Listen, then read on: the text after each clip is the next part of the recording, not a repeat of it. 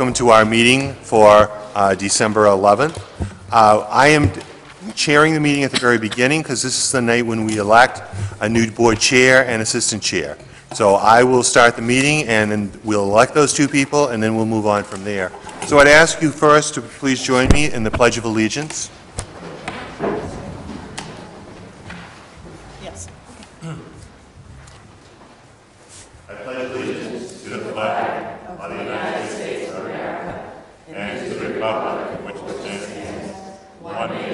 under God, indivisible, with liberty and justice for all.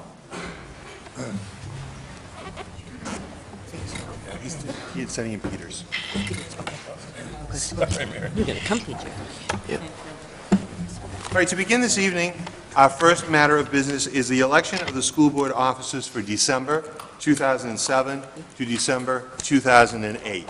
I would ask for a nomination from the floor. I'd like to nominate Kathy Ray as chairman. Thank you. And board? do I have a second? Second. And a second from Jack? Any other, any conversation? All those in favor? And opposed? So it is six. Yep. And our second one is for our assistant or vice chairperson. Could I have a nomination from the floor on that position, please? I'd like to um, nominate uh, Trish Brigham as vice chair. Thank you, Kathy. And do we have a second? Second. And we have a second from Karen? Linda. Linda, I'm sorry, I didn't see who did it. Um, Is there any discussion? All those in favor? And it is six to zero. Kathy? Welcome again to the chairpersonship, and Trish, welcome to the, is it the vice chair? I always hate to say that, the assistant chair's position. Thank you. Um, First of all, I would uh, like to welcome Jack Keneally uh, to the school board. This is Jack's first meeting, and welcome, Jack. Thank you. Uh, Second, I would like to um, list the um, committee uh, groupings, and I'll just read through them briefly and look for a motion to approve. Um, As discussed, standing committees, uh, Budget Committee of the entire board, Communication Committee, Rebecca Millet, Chair, Trish Brigham and Jack Keneally, Finance Committee, Rebecca Millet, Chair, Trish Brigham and Peter Cotter, Personnel Committee, uh, Linda Winker, Chair, Karen Burke and Peter Cotter, Policy Committee, Trish Brigham, Chair, Rebecca Millet and Linda Winker, Strategic Planning Committee, Trish Brigham, Chair, Karen Burke and Jack Keneally, Student Extracurricular Committee, Linda Winker, Co-Chair, Peter Cotter, Co-Chair, Karen Burke and Jack Keneally, Wellness Committee, Karen Burke, Chair, Rebecca Millet, Positive Action Committee, Linda Winker, Appointments, Paths, Kathy Ray, Volunteer Advisory, Rebecca Millet, High School Forum, Linda, uh, with rotation of other members, Curriculum, Rebecca Millet and Jack Keneally, um, Advisory, Sports Done Right, Karen Burke and Jack Keneally, SEAF, Karen Burke, Technology Advisory, Jack Keneally, Hannaford Field Advisory, Peter Cotter and Linda Winker, Alternative Energy Committee, Jack Keneally, and Legislative Liaison, Rebecca Millet. Is is there a motion? I move that we accept the um, slate of committee nominations as presented. Thank you, Trish. Is there a second? Second. Thank you, Rebecca. Well, uh, is- Excuse me, is there any discussion? All in favor? Six zero. Thank you. Adjustments to the agenda. Okay, please bear with me, because I gave you an adjusted agenda, and now I have some other changes. So I may repeat some things that are on there, but there have been several changes come in today, so work with me as we go down through it. You'll, you'll first go to section number seven, which is communications. Uh, Where it says Chinese language program in Maine, that is repeated in another place, and so I'm crossing that out, and I'm going to put in there Star Lab Planetarium, and we have two presenters to talk about that briefly this evening. Uh, D will remain the same, the uh, budget dates. E, we have a, the coach of the girls' high school volleyball team, and he will be arriving here about 7:30 to to speak about that group. We will take the action on it in the actual new business section of the board agenda. Uh, And F, I have a quick uh, comment about Deb Butterworth's newsletter. G, you have some information in here about the vaccination report, which I want to uh, mention briefly. And then H, Uh, A new addition is a report on the World Affairs Council trip to Princeton. And uh, I'm sure it'll be an interesting report based on not only their successes down there, but how they got home that evening. So we will, we will deal with that. Under recognition, uh, I have added to this the mock trial, and uh, Jeff is going to speak about that when we get to that point. Number nine is the school reports.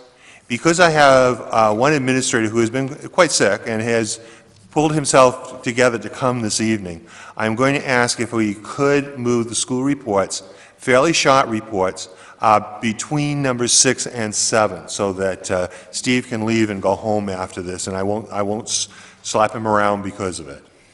Uh, Under number 10, I don't, the only change on that is in F, that should be MSBA resolutions, that's Maine School Board Association. Uh, And I, th- okay, yes, on the next page, under number 12, we will add H. And H will be consideration of the hiring of a new long-term substitute in foreign language.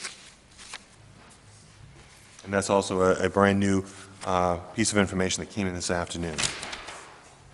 Hopefully, I have hit all of the changes that I needed to make. Okay, great, thank you, Alan. Anybody else have any changes? Enough? Okay, great. Um, Approval of the November school board minutes. For a motion? I move that we approve the minutes of the November 13th, and can I double up? And November 27th, um, school board meeting as presented. Thank you, Trish. Is there a second? Second. Thank you, Linda.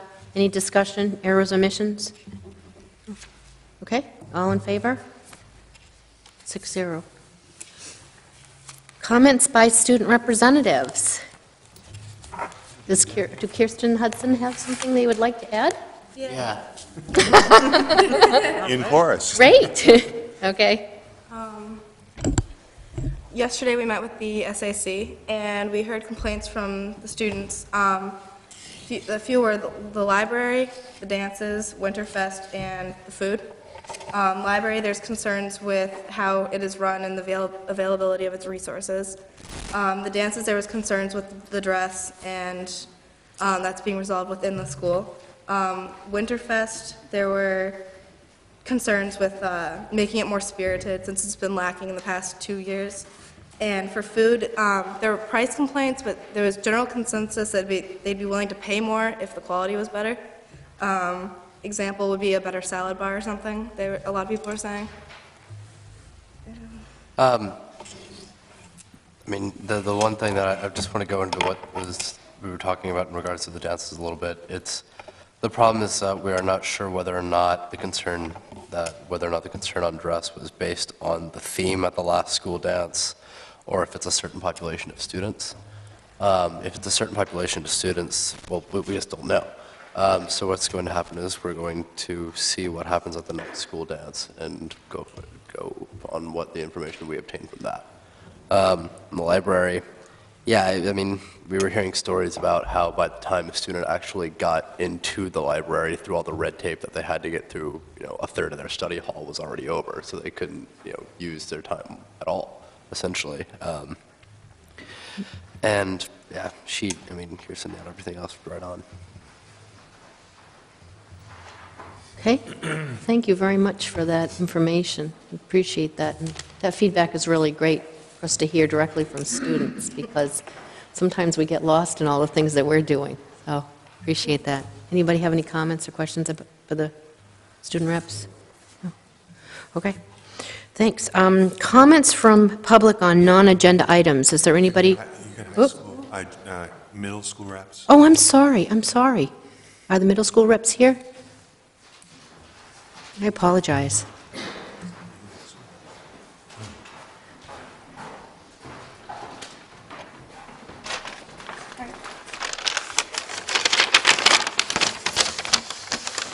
Well, first we did a fundraiser lately, was a canned food drive for Preble Street, and it went really well. We had around a total of 4,590 perishable items within the week.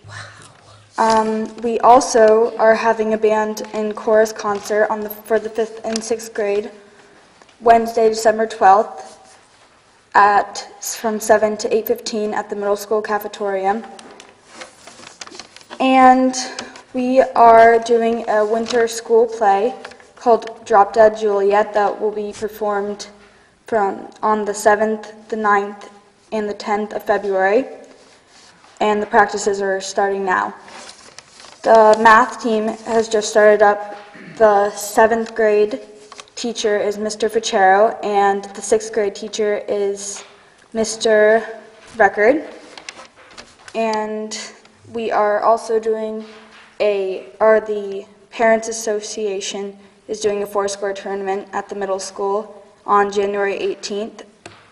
And yes, that's it. Um, Also, the middle school recently had their second dance, which according to Mr. Casey went great, and from what I've heard from students, was also very successful. Um, The winter sports are in full swing. Um, Basketball team, I believe, has about 35 kids playing. All teams are doing well, uh, from what I hear. Uh, The indoor track and swimming teams will be starting up soon. Um, I'm not, I'm not sure about details in that area. Mr. Drake is uh, hosting a ping pong club after school a couple days a week, um, mostly consisting of fifth and sixth graders, which seem to be having fun. Uh, the chess club, sponsored by CEF, uh, start in January. Um, on Tuesday, January 8th, uh, the dedication of the library conference room uh, will be dedicated to uh, Rick Madden.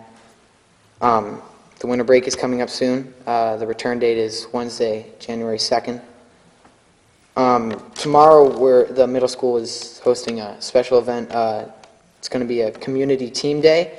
Um, It is something that has been recently created. Um, This will be the trial year, I guess.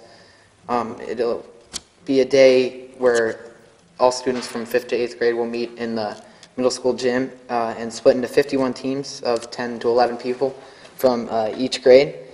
And these teams will stay to, stay together throughout their years at the middle school. And um, it's designed to be a day to kind of de-stress and really get to know kids from all throughout the school. And that's pretty much it. Thank you.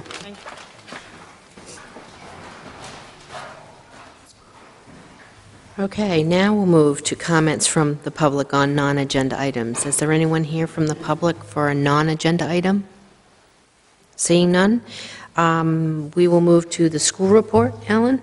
Yes, what we'll do this evening, and I do apologize for some of you who may need to wait a bit longer, but I would like to get these in uh, I- as quickly as possible.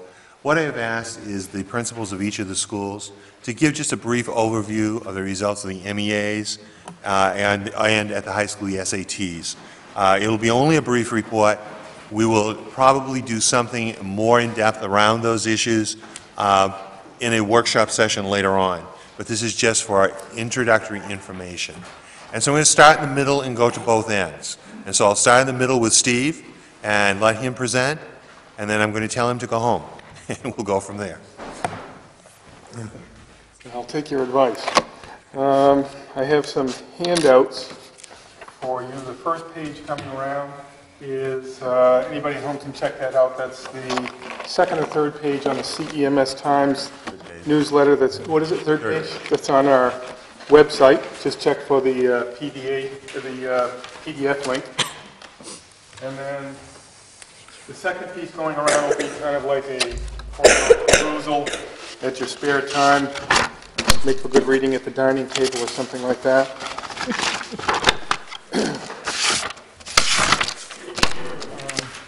I shouldn't have handed out all the top sheets, I could use one back. Oh. Here he's got it.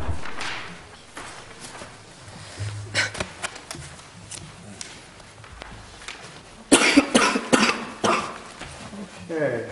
um, First off, this, this sheet talks about, you get a few different comparisons in here. It talks about uh, how we scored compared to the state scores, and there are 11 areas that students were tested in. For instance, grade five, you had a, re- have reading, math, and writing score. Grade eight, for instance, you have reading, math, writing, and science. So some of the grades took uh, all the sections, some of the grades took part of the sections and that's the way it worked across the state. Um, You can see, for instance, if, uh, if you look at grade eight, you see that the, uh, that the eighth grade students outscored the state average by 10 points in reading, outscored the state in math, the state average by 12 points. The writing scores were eight points higher, and the math scores are nine points higher. That's, those are excellent scores. Um, They are uh, certainly our, our best scores at the middle school that particular year, but don't forget that it's, um, it's as the grade moves through. So it was a really very, very strong eighth grade group. Um, There were, as a matter of fact, there's really no gender gap between the males and the females on that testing, which is pretty unusual. Um, So then the next piece talks about comparing over a two-year time frame. The reason that we didn't go out three or four years is because the scoring system changed in 2006, so we could really only compare those two years. Um, You'll note that in that section where it says, for instance, that grade seven increased three points in reading and increased four points in math, that the statistically significant difference is plus or minus two points. So that's, that's, uh, those are great gains. Uh, The next part talks about the adequate yearly progress. Now, AYP is determined by the state in several different categories.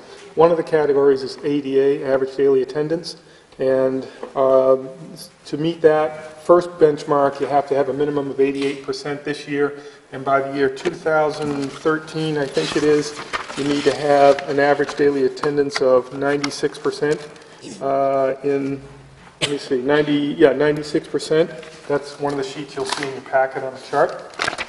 That's going to be quite interesting for us when that roll, when that day rolls around, because our absences typically aren't due to lack of supportive homes and getting kids out of bed, getting them to school. Ours is usually due to people taking vacation time. Uh, As we talked about last April, when we had um, almost uh, 200 students, a little more than 240 students absent across the district. So we run into days like that. Um, We have, uh, the other factors, the other subgroups are identified disabilities, population, uh, there are gender, male, female, there is um, underprivileged students and minority populations. So, uh, and in all of those categories, you have to make, with each subgroup, a minimum of 10% gain. That's an area called safe harbor. This would make for a longer discussion on another day. But uh, as long as you make that 10% gain in every category, you're fine. But if you miss that in any category, then your school misses adequate yearly progress. Doesn't matter how good any other score is, for instance. So this year, this, this past spring, our identified disability population of students, there are 88 students, I believe, uh, excuse me, 68 students in that subgroup, um, we did not make the adequate gain that they were looking for on this performance.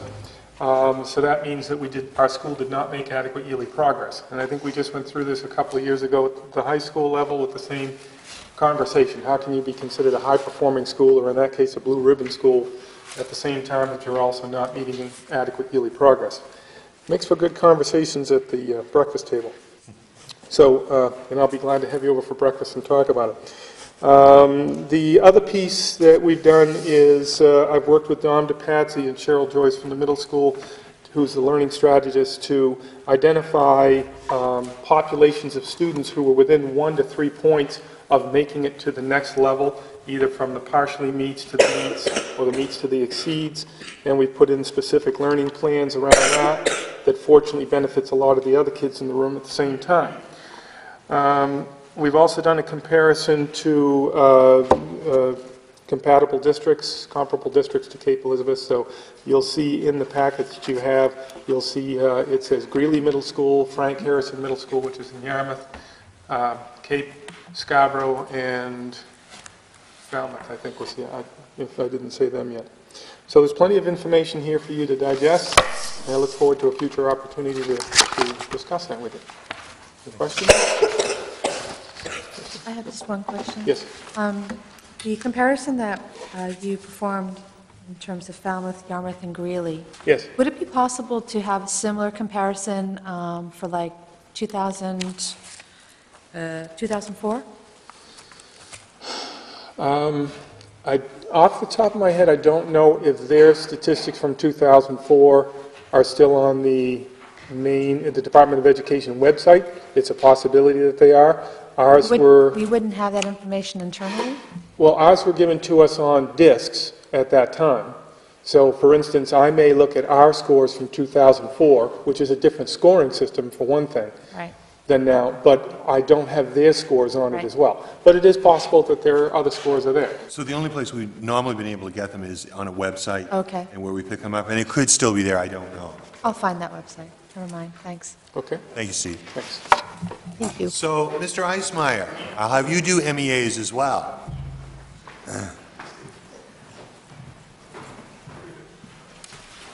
Good evening, and welcome to Jack, who will no longer wonder what to do on Tuesday evenings, I guess. Um, Alan's mentioned that we're going to, we're trying to lay the groundwork for more in-depth exploration of MEAs sometime in January. So I'd like to give you an overview of, of what's going on at Pond Cove and maybe a little orientation to the scoring system. I think you have the report in your packets, I hope you do. Um, To go back a little bit, we actually do MEAs in March. It, uh, it takes about a week to do it with prep time and getting it done. We don't get the, the scores back until late August.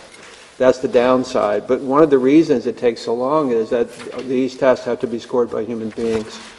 Um, The, the, uh, every item on MEA is pegged directly to a grade level expectation, which is again linked to the learning results. And instead of just multiple choice, there are short answers and constructive responses. So uh, I guess the two high school students can skip these, but there there are two more assessments. Again, Steve said, it's not for you to do now. The the math is, it's a a sample third grade um, math. Just Pat, you don't have to. And the other one is uh, a little longer. It's a passage from grade four.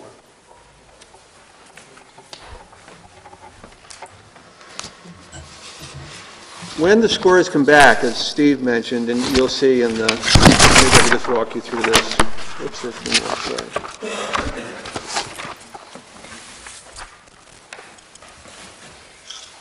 They come back in this form, we get a hard copy, and it also comes on disk. And the, the score that usually gets the most attention is the average or, or scale score. That's the score that goes in the newspaper.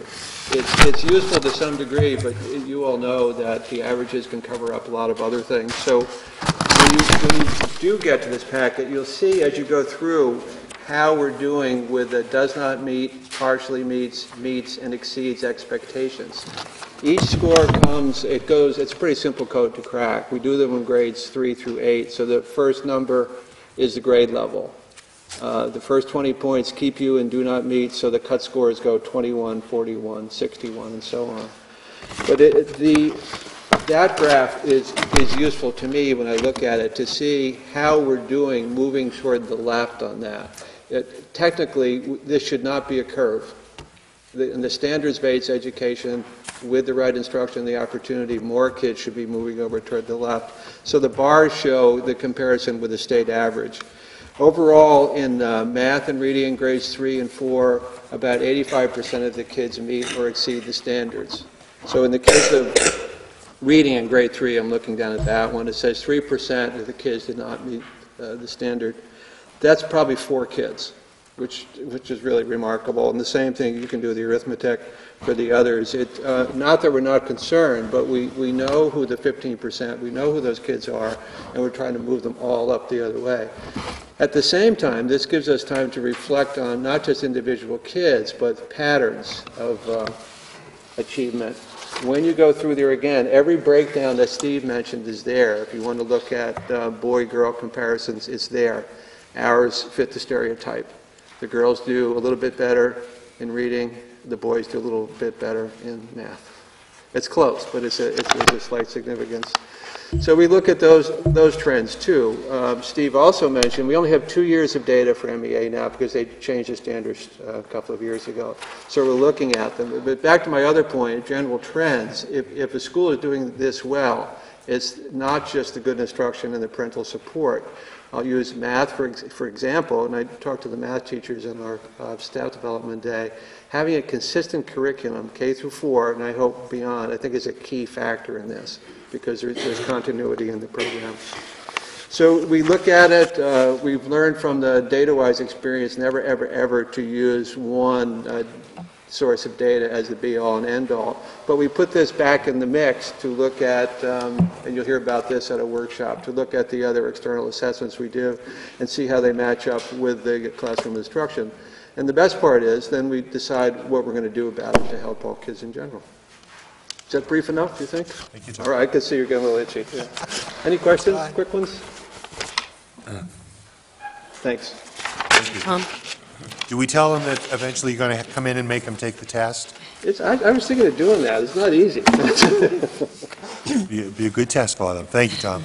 And now we'll look at the SATs with Mr. Shedd.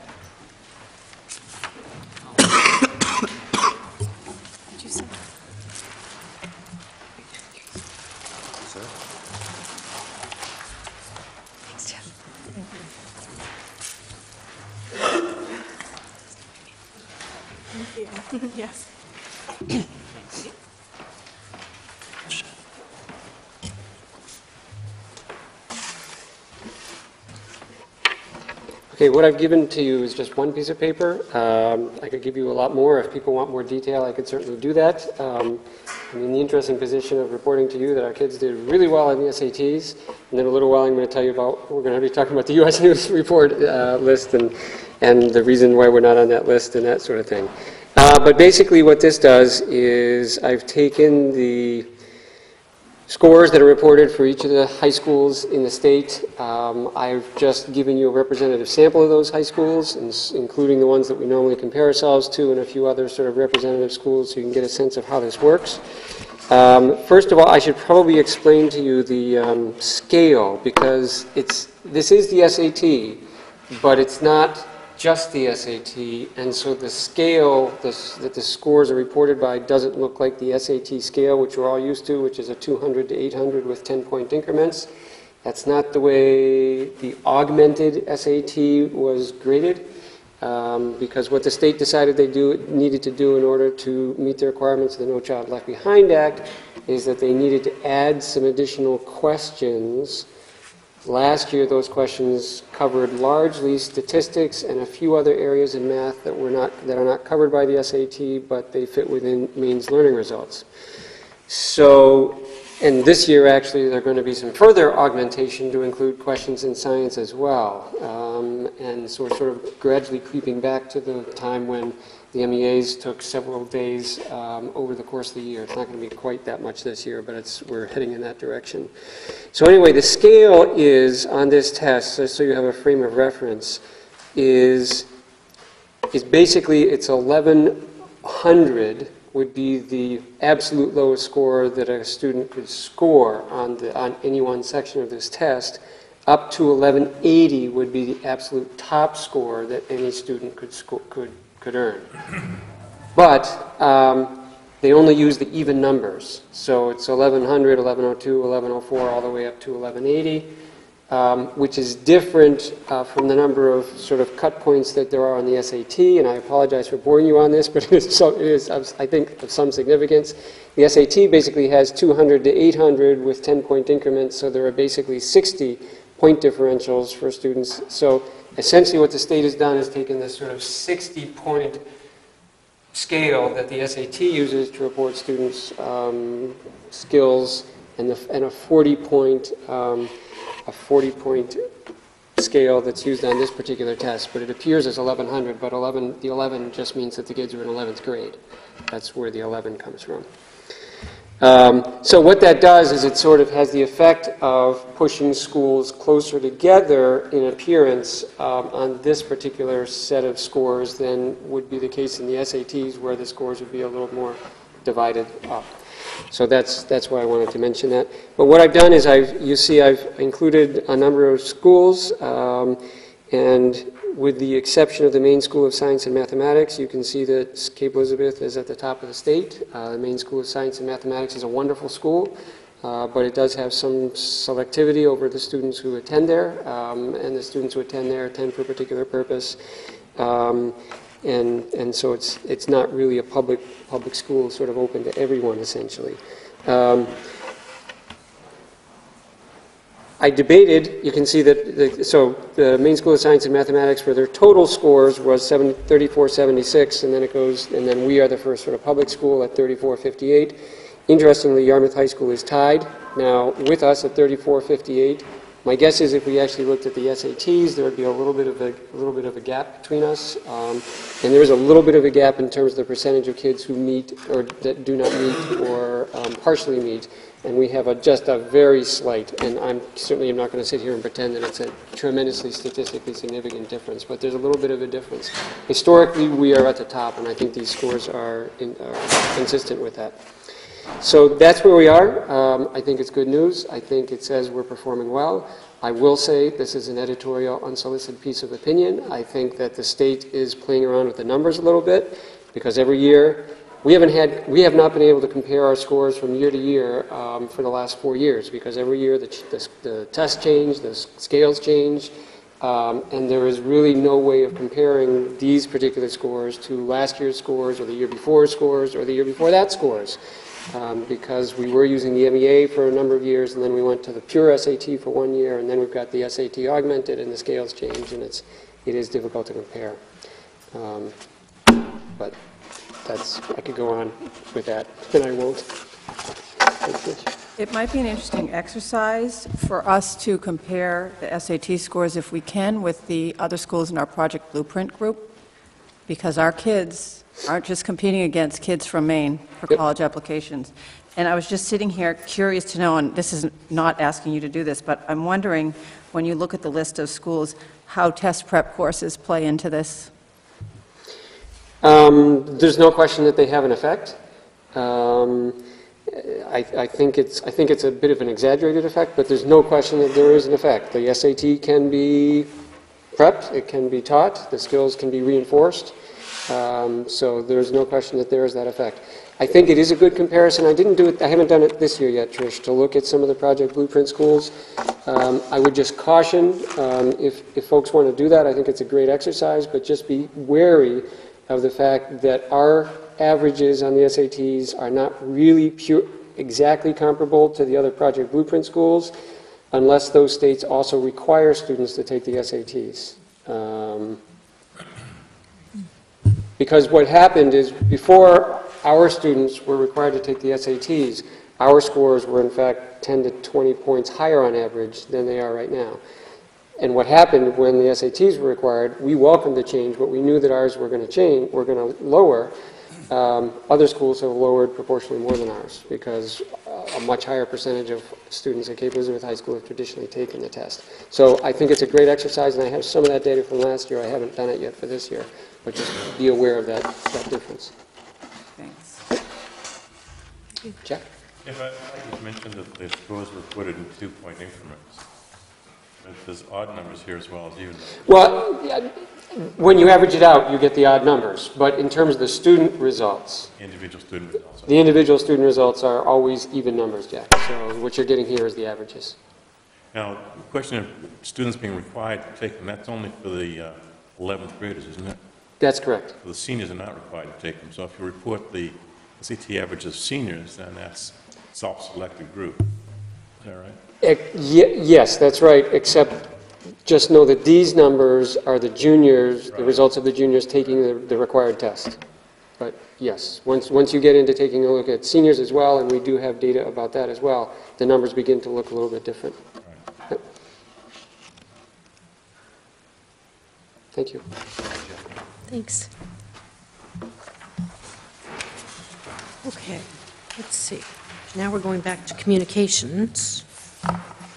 Right? Yes. And this would be you, Alan. Yes, it is. Uh, I'm going to do a little shifting in the communications one. There are quite a few people here to report in that area, so with your permission, I will do that. And so what I'm going to do is uh, skip down. Jeff, if you don't mind, I'm going to skip you and come back to you in a few minutes. I'm going to start with the Star Lab Planetarium. I have Sharon and Carrie here to talk about that, and also to congratulate them on this event.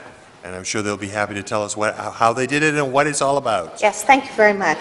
Um, I'm Sharon Diorsi. I am a chemistry teacher in the high school, and I'm joined with um, my colleague, Terry Curtis. Many of you know him. He is our uh, science chair in the high school. And um, tonight, we are bringing you tidings of great joy. It is not the Star of Bethlehem, but it is the Star Lab Planetarium. And we are here to um, inform you, to announce that the Cape Elizabeth School Department has been the gen, has been the grateful um, recipient, recipient of a generous gift from the Medfa Education Foundation. And we have received um, a portable planetarium. Our trainer calls it an edutarium. We're getting used to that. Um, but basically, it is a, um, it is a $14,000 hands-on learning gift that will be available to all levels of science within our school district. Several of us um, were trained on this for four hours. If we look a little haggard, it's just because we've just escaped from the human cell. Um, but there are, there are a number of applications um, that are quite exciting that we can look forward to um, learning about and hopefully incorporating into different curriculum. Um, there are modules on mythology. There are wonderful astronomy models uh, and modules. Um, additionally, we were in a cell today learning um, some biological applications.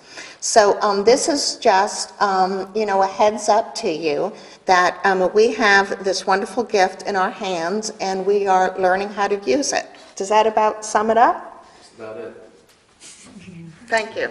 Very good. Thank you very much, and we have sent a thank you note. Let them know how much we appreciate it. The, uh, it will be used for all grades K through 12 initially, and then hopefully into the community.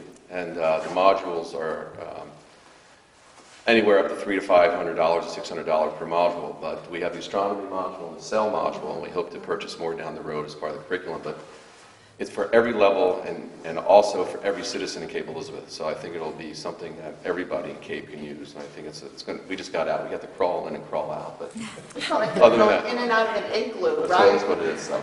But it's a lot of fun, and hopefully, we're going to get trained on it and train all the teachers and anybody else who wants to do it. So there'll be information in the Cape Courier and the newsletter sent home by Jeff and Steve and Tom. And so hopefully, every student will be using it in the next uh, year or so. So we're looking forward to it. Thank you. Thank you for shepherding this gift. I'll carry your pun a little further. Shepherding this gift to Cape Elizabeth and all of your work. Um, Very kind, thank you. The next one I'm going to skip to is, I saw Rob down back there, and I'm going to skip to girls' high school volleyball. There is a vote to be taken later on in this, but what I've asked Rob to do is come tonight, and I think he has a couple of his volleyball players with him to talk about the program. You guys want to come up and sit in the front row so everyone can see your smiling faces? We, most certainly, if you want to challenge us, I think that the ladies are probably up to the task. My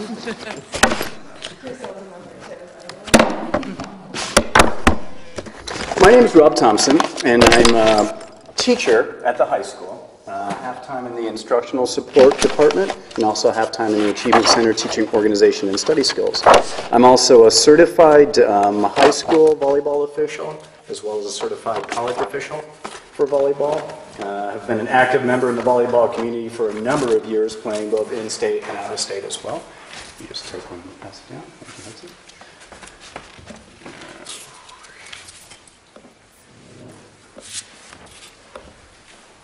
And I will put on a few of our pictures here in the corner of just some of our things that we have done during the season. Um, As I mentioned, we have a few of our players here with us today.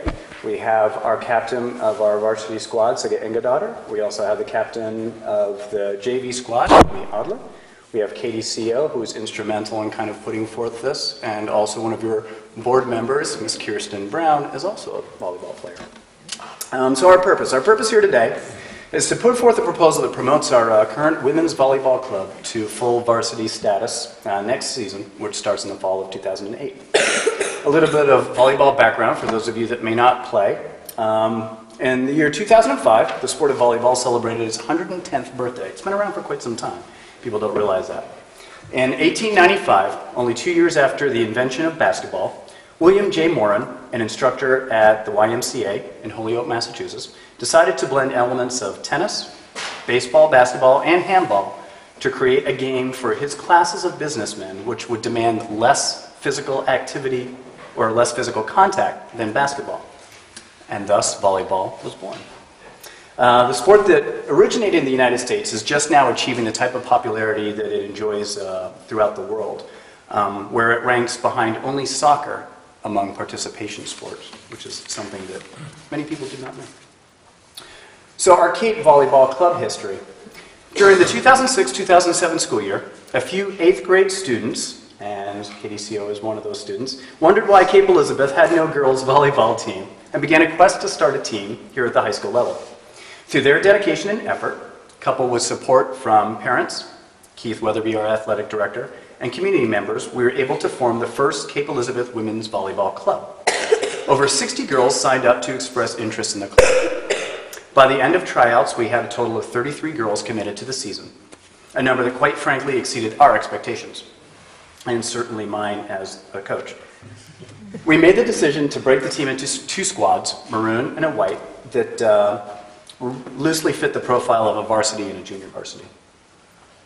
Uh, through student fundraising and par- our parent boosters, we were able to raise approximately $4,000.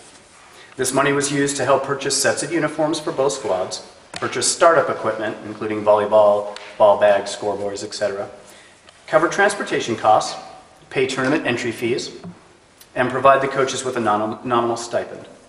The team had a lot of fun, was very successful, and learned a ton about volleyball and teamwork during the season. We were even able to give Cape Elizabeth its first volleyball wins in history against Kennebunk and North Yarmouth Academy, so we were very excited about that. Uh, in general, we were pretty pleased with the season. Uh, additionally, the volleyball club was able to put on uh, volleyball skills camp during the summer through the capability uh, programs that are offered through community service services rather. Um, this camp provided the opportunity for girls 8th through 12th grade to have an introduction to the sport and learn the basic skills. The volleyball club was also able to put on two student faculty games as a fundraiser for the Special Olympics, and we raised over $300 for this worthy cause. After the season, we were very proud to have three Cape players actually try out for the Junior Olympic Volleyball Club team for the Southern Maine region. So, why a girls' volleyball team? Uh, volleyball is a fantastic lifelong sport. I've been playing for a number of years. I play with individuals that have played well into their 50s and 60s. This is definitely a sport that can stick with you for a long time, and they play competitively. Um, the values of teamwork, sportsmanship, commitment, motivation, self esteem, and overall health wellness play a positive role in this development. Um, currently, there are 14 varsity boys sports, but only 13 varsity girls sports at Cape Elizabeth. Uh, the formation of the volleyball team would address this gender equity issue that we currently face. Um, the Maine Principal Association currently recognized, re, or excuse me, recognizes girls high school volleyball as an official varsity sport throughout the state. Um, we currently have a qualified coach who is willing to continue in this capacity as long as the girls will have me and continue to do well and behave themselves. Um, we currently have the facilities for practice and playing the game without causing undue hardship to existing teams. Um, our season is in the fall, which a lot of people don't realize, um, and that's when no other teams use the gym. The total cost of this program is uh, approximately $5,000. This includes approximately $1,000 for transportation, $1,000 for officiating fees, and about $3,500 for uh, coaches' stipends. There are no other athletic or non-athletic activities that are waiting for sanctioning at this time, at least that I'm aware of. Um, the formation of a varsity volleyball team also may assist with potential scholarships for college-bound players. Volleyball presents another opportunity for girls at Cape Elizabeth to be part of a sports team. Many girls that did not experience success at other sports joined our team, as well as a number of individuals that had never played an organized team sport before. Um, volleyball is also a fairly low-cost sport for players and families in terms of equipment purchase. Um, you buy yourself a pair of knee pads, shorts, maybe a new pair of sneakers, and you're ready to play. Then I'll leave you with some uh, volleyball statistics. Currently, about 46 million Americans play volleyball. There are about 800 million players worldwide who play volleyball at least once a week. Girls high school volleyball is the third highest popular girls program, with approximately 386,000 girls participating nationwide, according to the National Federation of High School Associations. The number of high school girls varsity teams in Maine in the year 2007 were 20, with a few more on the way for next year. High school teams that currently are within our division include Scarborough, Falmouth, Yarmouth, North Yarmouth Academy, Greeley, Kennebunk, Biddeford, Gorham, and Cony, surprisingly. Most of the schools are within close proximity, with the exception of Cony, and therefore uh, reduce kind of the transportation costs regarding that. Um, colleges or universities with women's volleyball programs in the United States as of 2005, there's about 1,500 schools that participate with volleyball programs, which is just amazing. Colleges or universities with women's volleyball programs within our region, including Maine, New Hampshire, Connecticut, Massachusetts, Rhode Island, and Vermont, is about 103. So there are many, many schools that participate in volleyball. Colleges or universities with women's volleyball programs within Maine, as of 2005, um, they listed 10, although I know that we currently have about 17 because, again, I officiate, so I go to those schools. Um, colleges offer approximately 7,500 women's volleyball scholarships yearly, making the sport of volleyball the second top scholarship provider for female athletes. And certainly it's, it's our wish that our girls are able to be exposed to that as well as the fantastic sport of volleyball. Captains or Katie, do you have anything that you wanted, not to put you on the spot, but did you have anything?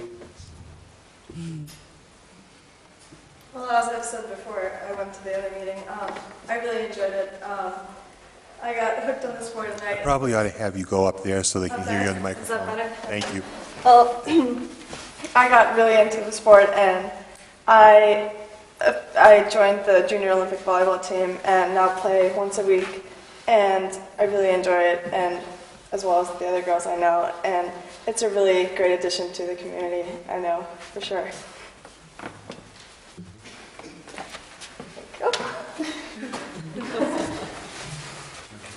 And Kirsten, I didn't know if you wanted to say anything. It's definitely a good opportunity. I hadn't um, done a team sport yet, and I, it made me wish that I had freshman, sophomore, and junior year. Definitely. Thank you, Coach D. No problem. My pleasure. Does anyone have any questions? Excellent. Well, thank you very much for your time. We appreciate it. Thank you. Thank you. Thank you, and do know that we will, at the end of the agenda, be, be voting on the actual acceptance of the programs. But I had told you you don't need to stay for that, nor do you. I think I have a volleyball game to play.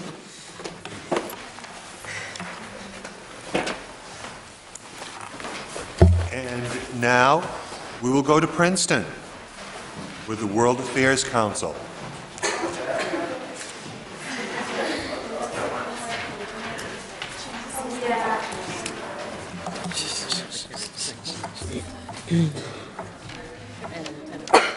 Exciting. It's probably why it's a meeting, so.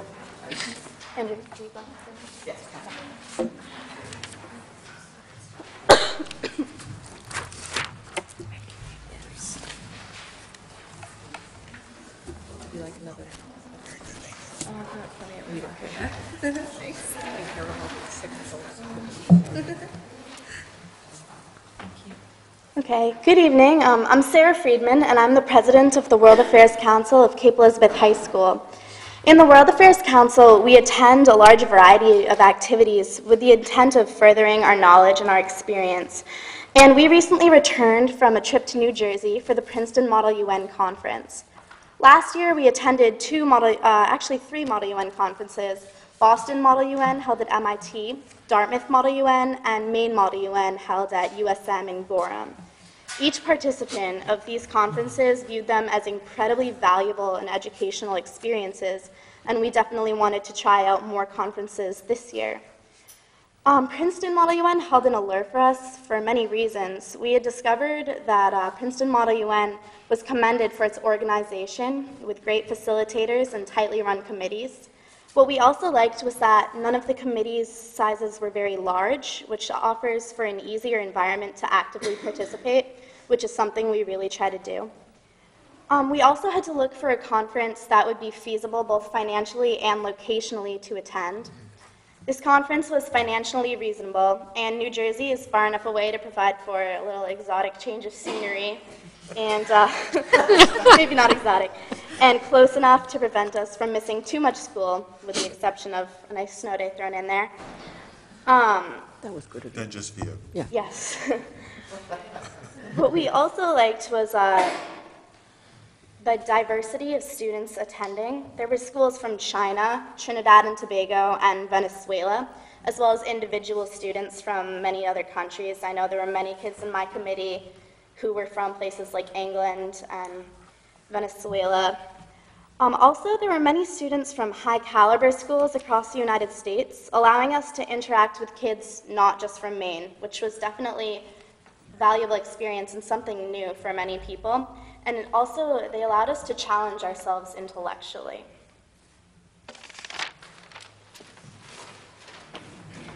I guess I'm next. Um, my is Andrew Pizzullo, and I'm the uh, Vice President of the World Affairs Council, and I'm going to talk a little bit about um, pretty much the largest aspect of this whole uh, Model UN idea, and that is the preparation, Thank you. which is about a month-long um, in-depth research and culminating in the writing of a position paper um, that you will use.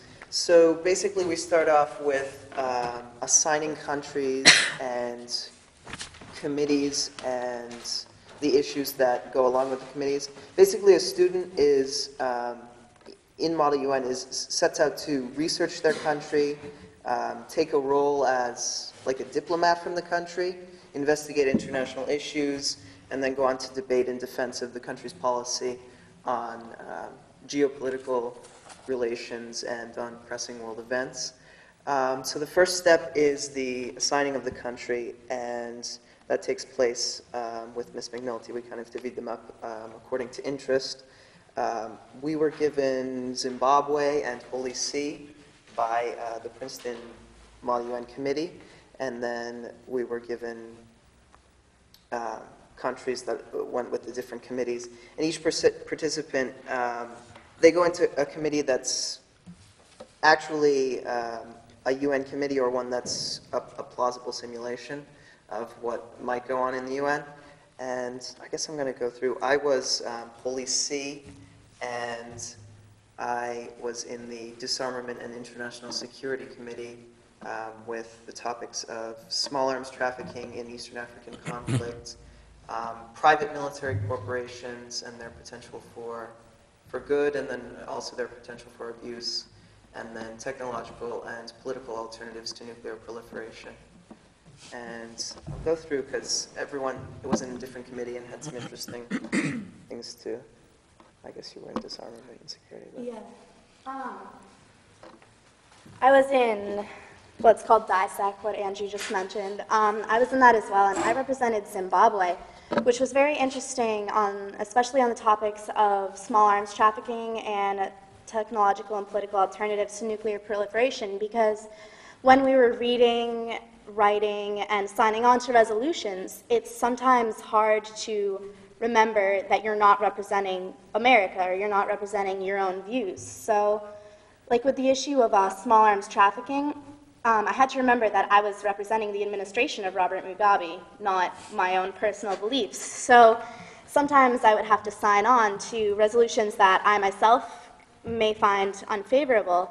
But um, it's really interesting to just put yourself in another country's shoes and think, well, hmm, this doesn't make much sense to me as an American, but maybe this is what Zimbabwe would want to do in terms of their small arms trafficking issues. And it was really interesting. I mean, we had so many resolutions, like implementing uh, UN sanctioned border control, um, tracking devices on small arms to stop the circulation. And it was really interesting just hearing all these different kids and countries' views, especially on alternatives to nuclear proliferation. So that was really interesting to me. I mean, you don't have to go up. We don't have, to- okay, well. I was just gonna, Yes, sorry. I'm Shay Watson, and I, We should, I, I would ask you to go up there so you'd be on the microphone, so they can, they're televised, So Andrew Straw. my bad, sorry. being televised, so. Um, well, I was on the legal committee this past two weeks ago at Princeton, and what we did on the legal committee, I represented the Holy See. And the legal, and in the legal committee, we talked about state-sponsored terrorism, illegal immigration versus refugees, and global consumer safety regulations. So we really discussed a wide range of topics, and it was interesting to portray the Holy See at, on those different um, topics because obviously the opinion differs from countries such as Zimbabwe. So it's really interesting to step out of yourself and your comfort zone and take on different opinions.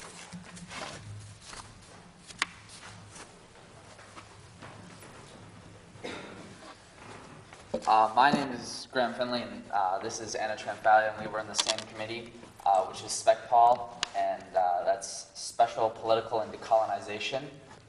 Um, we also had, like the other committees, uh, three primary topics, which were uh, the role of peacekeeping troops in armed conflicts, um, the possibility of creating a UN standing army. Um, we also had uh, the issue of Taiwan and should it be introduced to the UN as a full member status country. Right now, it does not have all the rights that um, other countries, such as the US and many other countries, does. And um, also, the third was the genocide in Darfur and possible um, means to stop the violence occurring there.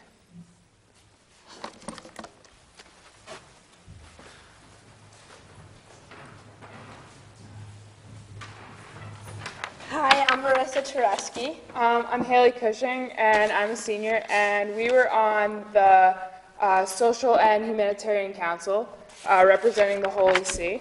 And our issues were children in armed conflict, human trafficking, and gay rights as a component of human rights.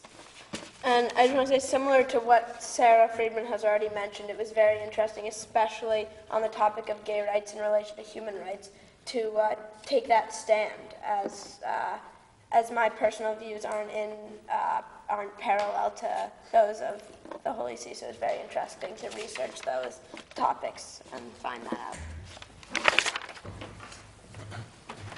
And then I guess I'll go on and talk a little bit more. After preparation, after getting your country positions, um, people really need to understand the basic tenets of, of the United Nations and the way it works. Um, they need to understand their really their country's positions uh, on these these three issues and the way that these countries have voted in, in UN committees and uh, like a general understanding. I mean, what uh, NGOs they're on, if they're uh, have an isolationist policy or an interventionist policy, or you know what, what countries they border with. It's like there's so much that um, that you need to know to be able to uh, take an educated stance um, in committee. And so for about a month, we spent our time uh, amassing research using like online databases. I mean, having to maneuver through the UN da- database is crazy. Um, bureaucracy of the thing. But, um, and then also going on to, you know, starting with like BBC country profiles and CIA World Factbook and being able to analyze statistics and data and then also being able to analyze press releases by the country. I mean, it takes a lot of, of, of time and effort. And then basically this culminates in um, a position paper. And the position paper um, is like a comprehensive, coherent, uh, succinct, one-page um, representation of your policy as a country. And you go into the committee with that paper being your, kind of your backbone or your structure for everything that you'll vote on and the countries that you'll work with, um, who's your enemy, whatever. And I think we passed around um, a sample of a position paper. Mhm. That one is more than one page, but um, that really is what comes of the month of research and um, I guess I'll pass it on to you. Thanks. Thank you. Um, As I already said, my name is uh, Graham Finley. Um, Once we finished all the preparation, which took a considerable amount of time, um, the conference itself uh, actually takes place uh, over the weekend, so we don't miss too much school. Um, The conference itself is pretty intense. I- I have my binder here, which is, um, as you can see, has plenty of research. But um, I'd like to hand out in particularly the conference guide uh, that the students at Princeton provided us with. Um, We have- Got it. We've got copy. Thank you. Yes. Sorry, I didn't see that. Um, It has an example of uh, the schedule, which itself is pretty intense. Um, For instance, uh, Friday was our second day there. Um, We get up at around 8 o'clock. Uh, It's actually about 7:30. Um, And we get ready. uh, And the conferences are in three and a half hour sessions. Um, And I believe there were three that day. So it was a total of 10 and a half hours of uh, deliberations in one day, which is uh, quite intense. Um, uh, in between, thankfully, we have uh, pretty decent sized breaks uh, to eat. Um, the food was very nice, uh, much better than I thought it would be, to be honest. Um, they, people who ran it, which is actually the students, the entire thing was run entirely by Princeton students. Um, there was, I believe, no other involvement. Um, they somehow managed to shut down uh, the restaurants, and there were no adults in there, and it was somehow just kids uh, to eat in the entire Hilton for these whole periods, um, which was nice because it was pretty crowded. Uh, as uh, Sarah mentioned, it was a slightly small conference, but you know you wouldn't guess that there are still a lot of people. Um, our committee uh, itself, SPECPOL, had 72 nations, um, each with two delegates, uh, which is a lot of kids to sit in a room for 10 and a half hours, and everyone did an extremely uh, good job. They were all uh, very mature. Um, uh, once the deliberations start, um, it's surprisingly open.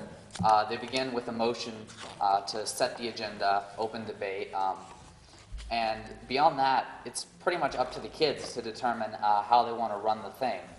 Um, usually, it starts with the kids opening, uh, moving to open a speakers list. Uh, actually, while I'm saying move, uh, I'm sure most of you are familiar with the parliamentary procedure, but um, motions and points are the two major um, two major functions uh, that the students can request. Um, and the motion to open the speakers list, uh, basically, the speakers list would serve as kind of a, a fallback or uh, the basic backbone of the entire conference when there was nothing else, nothing out of the ordinary um, being proposed. Uh, we would be uh, referring to the speakers list, which was each country usually got about three or so minutes to do whatever they wanted with the time. They could uh, make alliances, you know, present their positions. Um, and beyond that, uh, there were other, the main um, forms of debate uh, that appeared were uh, moderated caucuses, uh, which are, for our committee, it varies from committee to committee. Our committee was typically, uh, typically sessions of 10-minute unmoderated caucuses with a defined speaking time um, in which uh, the students could uh, hold an informal debate. Um, unmoderated caucus, well, I shouldn't say informal, it's uh, moderately structured. Uh, an informal caucus um, or unmoderated caucus is where most of uh, the actual work got done. Um, uh, it was surprising how much the students ended up. In fact, um, I remember being told that a previous speaker at another conference had uh, attended one of these model UNs, and the strategies that the kids had used in their backroom politics or whatever, and uh, alliances, personal agendas or whatever, uh, to get their resolutions passed, uh, he actually was able to bring back to the UN uh, with some surprising success, which was pretty interesting to me. Um, kids are pretty, uh, pretty ingenuitive. Um, I believe that, and I, I'm hesitant to say this because I can't speak for everyone again, I can only speak for my committee, and this was my first personal uh, conference. Some of these people have been to quite a few over the years.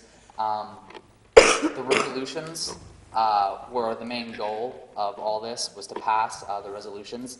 Uh, and it was an interesting experience for me uh, because I have participated previously in a more formal debate where the goal is to win uh, for your side, whereas the goal for this was uh, to satisfy everyone, which is uh, much hard, much easier said than done. Yes, we know about that. And- yeah, but I, I think uh, people did a pretty good job. Uh, I don't have. Can you pass out an example of a resolution? I think I have some. Yeah, um, you can state those, and uh, after those were sponsored and signed, um, that was pretty much the close of each session. Uh, would be a resolution. And uh, sorry, it takes so long. I'll pass it on to someone else. Thank you very much for all that information. Um, I don't really have a lot to say. I think Sarah already covered a lot of it. Um, a major part of the conference is, uh, like she said, stepping into someone else's shoes. In my case, the Pope. Um, so, uh, which was, it's probably the most difficult part of the conference because, you know, when we discuss in class and in, you know, in school or even outside of class, you're always bringing in your own opinions and how you feel, about the issues, but um, in this case, that's you know not what we did, and uh, the research really helped uh, the preparation because that way we knew what our country felt, and that way we could better discuss um, the issues. And uh, we also learned to compromise with other countries, other students. Um, many of the countries can be very radical. I remember the UAE was crazy. Um, and, you know, sometimes they propose resolutions that really are out there. And um, the goal of the UN is, you know, collaboration within all the countries. So we had to compromise and make everything uh, more moderate, um, sort of calm them down. and that's something uh, I know you have to deal with every day, you know, when you're working with people you don't necessarily agree with, and compromise is a good thing. We'll remember that as yeah. Um, one of the reasons we all do Model UN is we're all fairly interested in like global politics and contemporary issues. Um, and I just thought it was like one of my favorite parts of Model UN is meeting kids from different countries and different schools. And um, where I sat every day, the delegation behind us, um, all the kids were from Venezuela and would rapidly switch from Spanish to English back and forth in order to talk without other countries hearing them. And it was just so cool. And then um, I remember, like, on the last day, my biggest worries were finishing my homework and praying for a snow day on Monday. and and thank you, by the way, that was awesome. um, and we were talking to them, and they were just like during all their breaks on their cell phones with their family and friends back in Venezuela because of the huge referendum that Hugo Chavez that was going to be voted on the next day, and they were just really concerned and they're adamantly against it, and they had spent months protesting and um, just like doing everything they could to not get this to pass, and it was. I kind of sat there like I use, I consider myself to be fairly. Uh, I read what's going on in the world, but this is nothing compared to what these kids do in a political involvement on an everyday basis, and it was just a really humbling experience for me.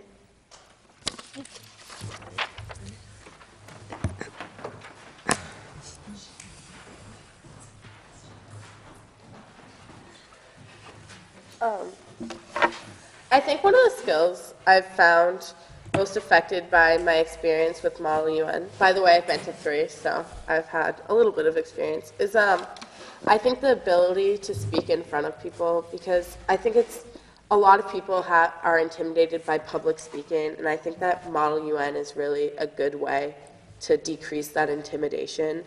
Um, I remember my first conference was at Dartmouth, and I expected to, you know, be in a committee with maybe 40, 50 members where I could speak, but it wouldn't be so intimidating because it was my first time I wouldn't be required to speak.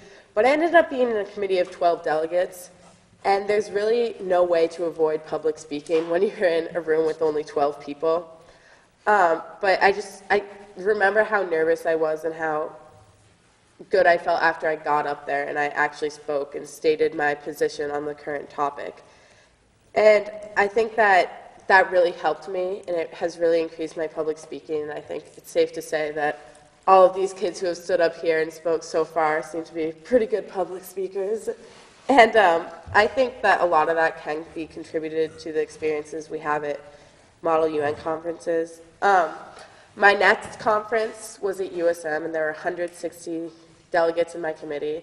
And I remember I got up there and I was not as nervous to speak. And I think that really shows that, you know, once you do it, you get better at it, and you the intimidation level definitely goes down. Um, recently at Princeton, I actually became started signing resolutions and working with people to create resolutions.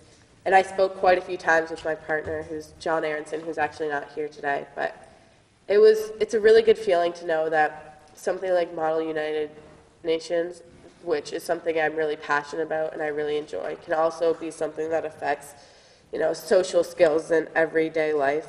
Um, but I, there's no doubt in my mi- mind that public speaking is definitely positively affected by Model UN. Um, and do you have any questions? Any questions? Thank you very much. Very well done. Appreciate all the information. Oh, sure. Thank you. Thank you. Very much.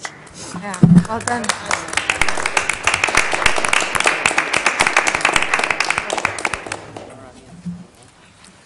Okay.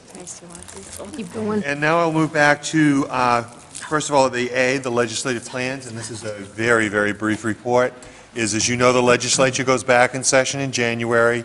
I serve on the State Superintendent's Legislative Committee. Our first meeting is uh, uh, January 7th, and I'll be bringing you back all kinds of fascinating information about what is happening there around particularly consolidation. And I know Rebecca also serves as a legislative liaison, and so she'll also be bringing messages back as, as this new legislature begins. I do have a question, Alan. Um, Whatever happened to the resolutions that were presented to us? The, the resolutions that we present was the last board meeting, I think, wasn't it? Yes. yeah.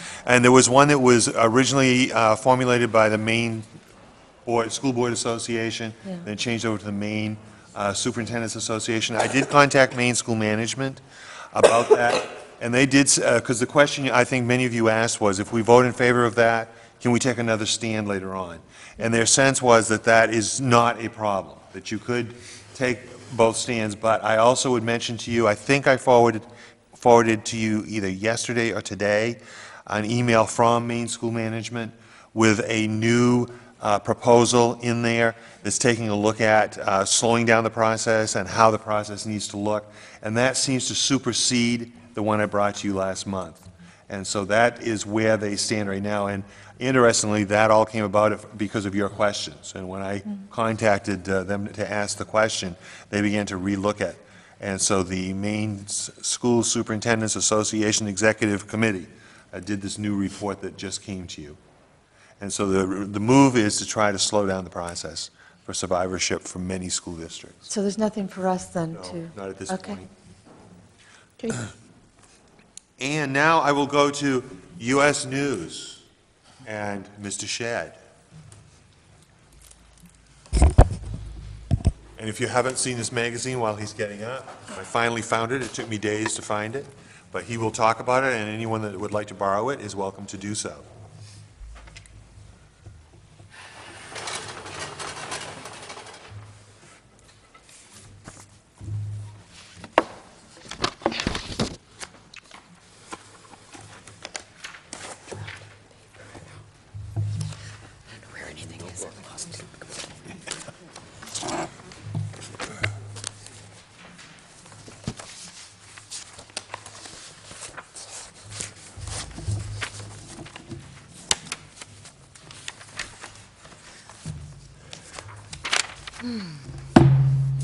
This paper tonight is recycled Christmas trees from last year.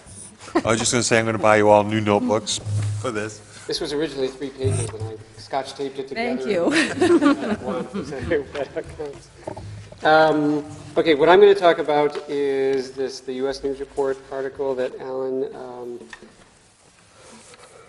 just held up. And what I've given to you is a list of schools in Maine that have been recognized under the US, um, by US News under its um, formula as among the best high schools in America. Cape Elizabeth is not there. And I will tell you that my initial inclination when I saw that Cape Elizabeth was not there and some of these other schools were, is that they must have their data wrong. Because that's what I wanted to believe. Now, there is a possibility that that is the case. You may have seen the newspaper today that one of the schools that was listed in the top 10 has all of a sudden gone down to the top 400 or something, uh, a school over in, in Vermont. Um, and I did fairly quickly email the editor of the, the magazine to sort of say, introduce myself and say, we are, of course, the best school in Maine, and how come you don't know that? Um, and I haven't gotten a reply. I'm sure he's been inundated with emails from various people. So that was my first inclination, was to say they must have their data wrong. The second inclination was to just say, I'm sure it's just one more of these reports that doesn't have a really sound methodology. There's a lot of reports out there um, that purport to rank, rank schools. Um, and, and so this isn't something I'm going to be concerned about, and there's probably some methodological flaw. As I studied what U.S. News did, um, it's actually, I think, a really good and important sort of measure of school performance.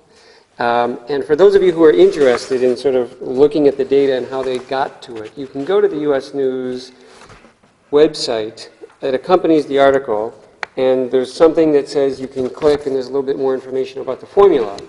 And when you do that, you come. I didn't copy this for everybody. It Didn't have anything to do with trees, but I didn't think you'd read. There's way too much to expect you guys to read it.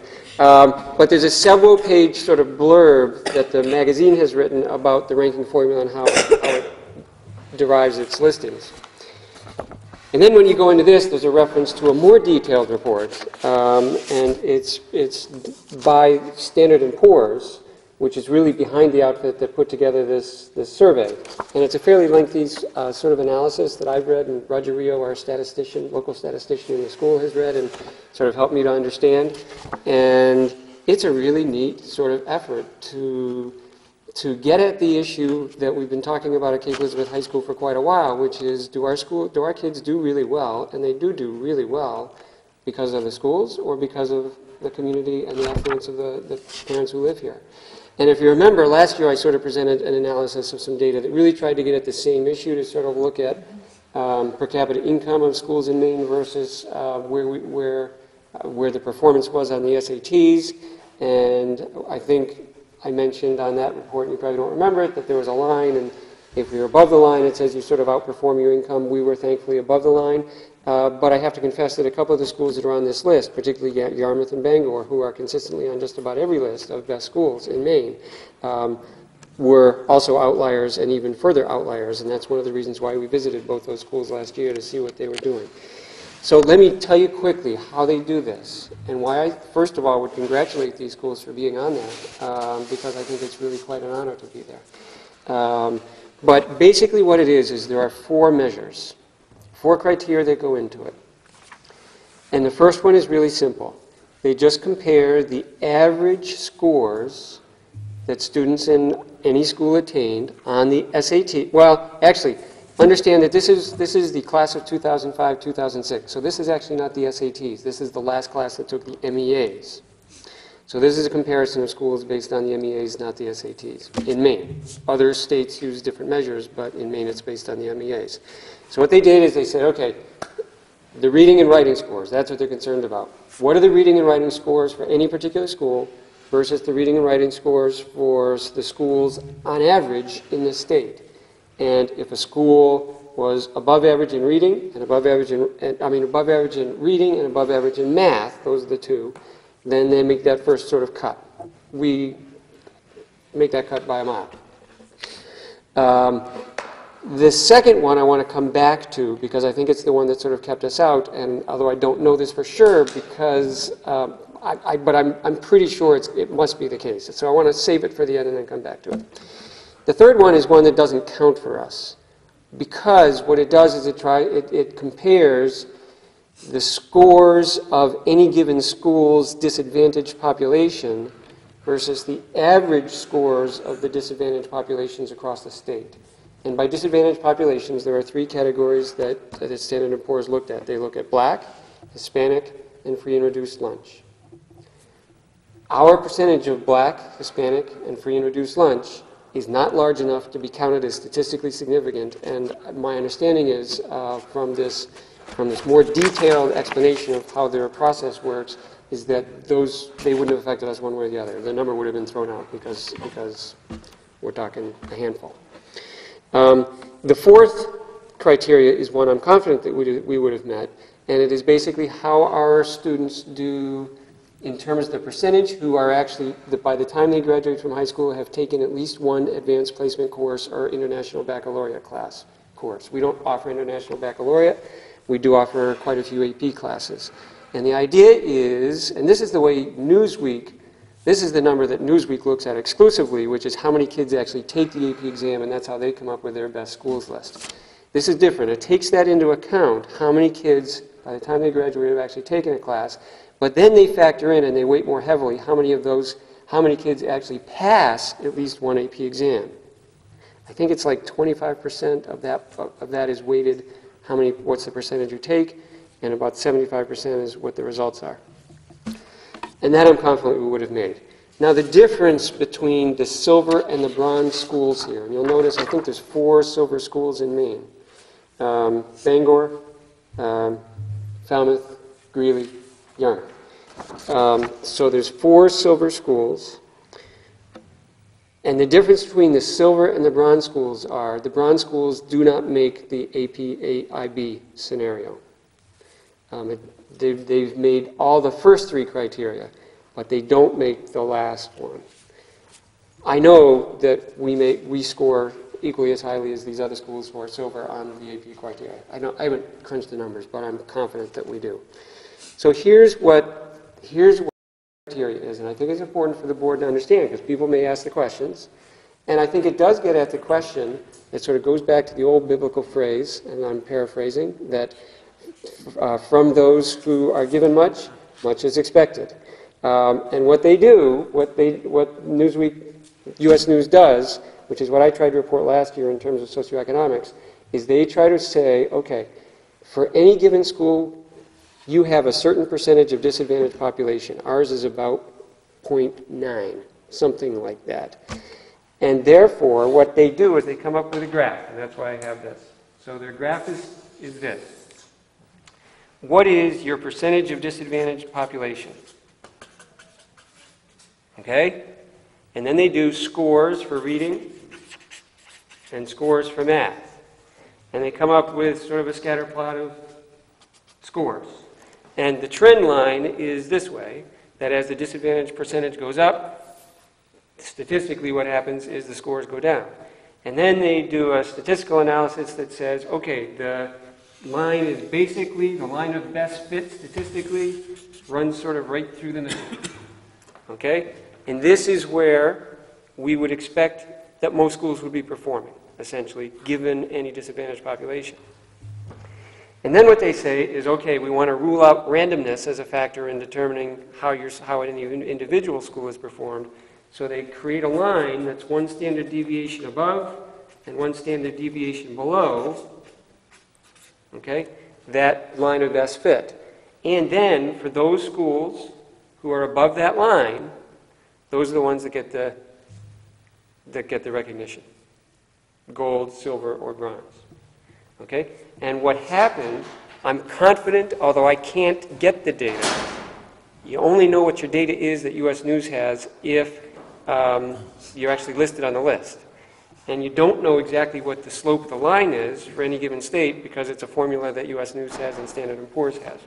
But we are the most affluent community in the state uh, with sm the smallest disadvantaged population in the state. Greely, Yarmouth, Falmouth don't have large disadvantaged populations, but compared to ours, which is in the neighborhood of one, theirs in the is in the neighborhood of three to four percent. Hence, um, they score lower, or certainly no higher than we do, um, but because they're farther down on the line, they can get above that line with, so it's a really, that's what, I, I like the measure. I think it's a really, really, really neat measure. And my get, my, I'm fairly confident in saying that if I had the data, that we would see that math, our math scores for Cape Elizabeth High School are above that line, even for standard deviation. And that it's in all likelihood the reading score, which is lower. Um, so am I alarmed by this one analysis in and of itself? No, I am not. However, if I'm right about this, that it's our reading score for, for our kids, um, that fits in with a lot of data that suggests our kids are great readers, they are great mathematically, but they are better mathematically than they are readers, and why can't they be as good readers as they are mathematicians? Our kids score lower on the ACTs, they score lower on the SATs, they scored lower on the MEAs. Again, they scored at or near the top of the state in all those things. But it's a, but I think it's, it's a legitimate question. Um, and that is my summary of the U.S. News Report. I think it's a, I think it's a, it's a neat thing, and it would be one of my aspirations to sort of push us up there, because it would tell me that our, our reading scores in particular are catching up with our math scores. Yep, Jack? Jeff, you and I talked uh, some weeks ago, uh, and you told me you had some concern about the reading scores actually trending in a direction you didn't like. Can you say a few words about that? Um, They, and it, it's not a significant trend, and to be honest with you, I haven't looked at the SAT data that I just presented to you earlier to see, and it is hard to compare. But there has been a slight, a slight downward trend over the last few years. Again, not enough to push us away from the top of the state, we're still there, but it's still a concern, because we have really, really, really bright kids. You saw a bunch of them present to you just a little while ago. You've got a couple of them on the school board. Um, But can they do better at- at reading? I'm convinced that they can, and I intend to sort of act as kind of a catalyst for bringing the issue to the school board through budget discussions as well. Good, good. Any other questions? Thank you. Thank you very much.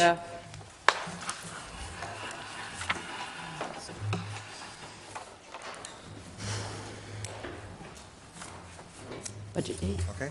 Okay, I, am to, I have three quick things here. I think we can move through these fairly quickly. The first one is budget dates. You have in your packet a, a series of dates beginning on uh, uh, December 14th, as a matter of fact, uh, as far as budget documents and uh, budget presentation. It takes us right straight through until June 10th of 2008, when we'll have the citizen vote on town council adopted school budget. Uh, The reason I give this to you is I need to make this official so that it can be published. So I'm asking, I've asked you to review it. A couple of pieces that I've looked at very carefully in this is try to cut down the number of meetings that we have to have at night, and particularly on Saturday, and how we can get a more specific uh, core of information to you in printed form that therefore can lead to the discussions. So it is a little bit different than what you have seen the last few years, but I'm hoping that it will work for us as we work our way through the process. What I do ask you to do is to take a look at it carefully. It is not something we have to vote on, but to take a look at it carefully, and if you have any specific questions, either now or in the next few days, if you could let me know. I would like to get this uh, data on our website next week so that people will know when it, when these things are happening. And I think you know, as well as uh, anyone who's talked with me recently, our biggest concerns are the change that will take place this year in Cape Elizabeth, as well as communities across the state, where it is no longer the final decision of the town council, it is the decision of the voters as far as what our budget is. And so I don't know if you have any questions at this point. You're giving yourself a week, two days, Pauline, to put the um, budget document together. It's, it's, it it is going to be a tight one. Okay. We may have to come back to you and take a look at it. Uh, And I, I think to comment on that too, since you asked that question, the other piece that we are looking at is, we are looking at presenting to you as a board, the f- initial budget will be the same type of budget you've always had, that same picture. Then we need to go back and relook at it with the 11 categories and the three additions, and put that together as well. But my sense is you would prefer to have the traditional one first, where we can show comparisons over three years. So that will be number one document. Number two document will be the one of the really 13 different areas that we need to break down according to the state board. And I- the only last thing I'll add is you do have a new page that I gave to you uh, last night, and that has some changes in dates. These are town council changes, not school board changes. So I'm going to let this sat until the end of the week, and if I haven't heard any more, then I will make this official and have it put on our website so that it will be available to the public. You also have in your packet, very quickly, from Deb Butterworth, her newest News from the Math Lab, keeping you up to date on what is going on there and uh, the progress of the program. And again, a very valuable piece for you to have the opportunity to see. I also did this month put the monthly health office report uh, for September in here. Uh, One reason is to show you what has been happening, but the other reason is to make you aware of the fact that we are under uh, some fairly serious guidelines right now as far as immunization is concerned, and we are in the process of working our way through that, and the nurses are in contact with families who have not followed the immunization uh, demands, and therefore, uh, we can come to a point where we may have to uh, ask some students not to attend school until they have either met the immunization demands or filed other documentation to say they won't be immunized. Uh, We are, in talking with Paula the other day, getting closer and closer to the bottom line so that it looks like uh, we will be able to resolve the problems without uh, removing students from school. But I think you've watched the issues that have happened at the university, and we're dealing with those same issues here. Question? Yes. Um, On that uh, health report, Yes. it's indicating that there's been 776 visits, and if I'm subtracting correctly, um, there's 491 of those visits that are not listed in one of these categories. Do you have any idea what those 491 were? My sense is, is the 8 o'clock to 3 o'clock health office visits, uh, what she's looking at and the ones below there are the, are the biggest pieces. I have a feeling that the others are with students who have been sent to the nurse from home to say, you know, they're not feeling well and what happened. It could be some other issues, but I don't have a direct list, no, I don't. I can check on that if you'd like. I'm just curious, I because can I... tell you. Yep. It's um, a kid falling down on the playground and scraping the knee, or cutting their finger on a, getting a really huge paper cut. Yeah, So none of those require them being sent home per se. None of them are actually fractures or sprain- sprains, but yet they received um, Some kind of med- attention. I'm just, I guess my question will- will come to, comes back to, are students going to the nurse's office for something other than medical care? And I ask that question um, in reference to your recent email about um, nursing care and and and needing nurses and so forth. And so it made me think, um, are we providing the service that we need to?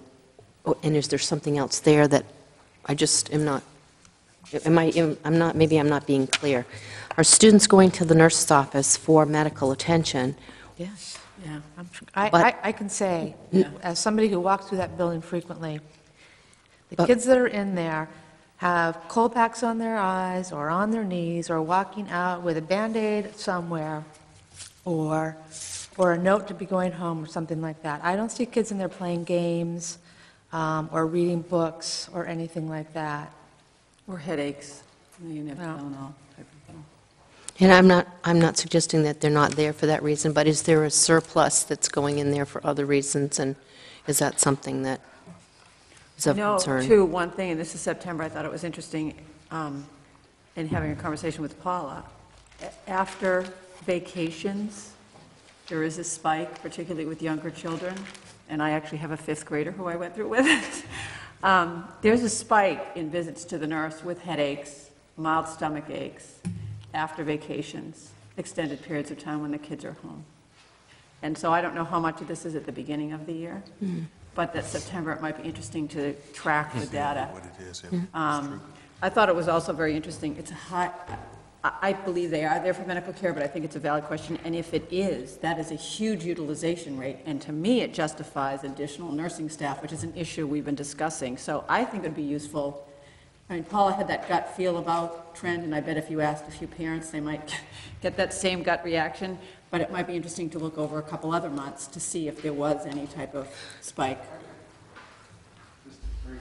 Those numbers have been consistent for years. Any, anytime a, a child visits the office, they get logged, and the numbers are just extraordinary every month. I mean, It's amazing. I look at it, and uh, you're right, Rebecca, it's any kind of visit, but it really has overloaded the office. So it's nothing new. I, I'm unfazed anymore. Yep, one more extraordinary month. It's been going on for years. Well, and you know, as we start to look at the budget again, and you know the requests that we've had in the past, um, it's helpful, and I'm not trying to make any more work for anybody, but it's helpful for us to have as many statistics as we can so that we're evaluating. We've got them all. And and it- Numbers. and it's not an escape for kids, because when, when, it- we- Paula's been tracking for years, but we do talk about it at staff meetings, you just can't send kids to office. And So the, the teachers do a good screening, is it always during math time and all that? Just wanted to point that out. This is a huge number.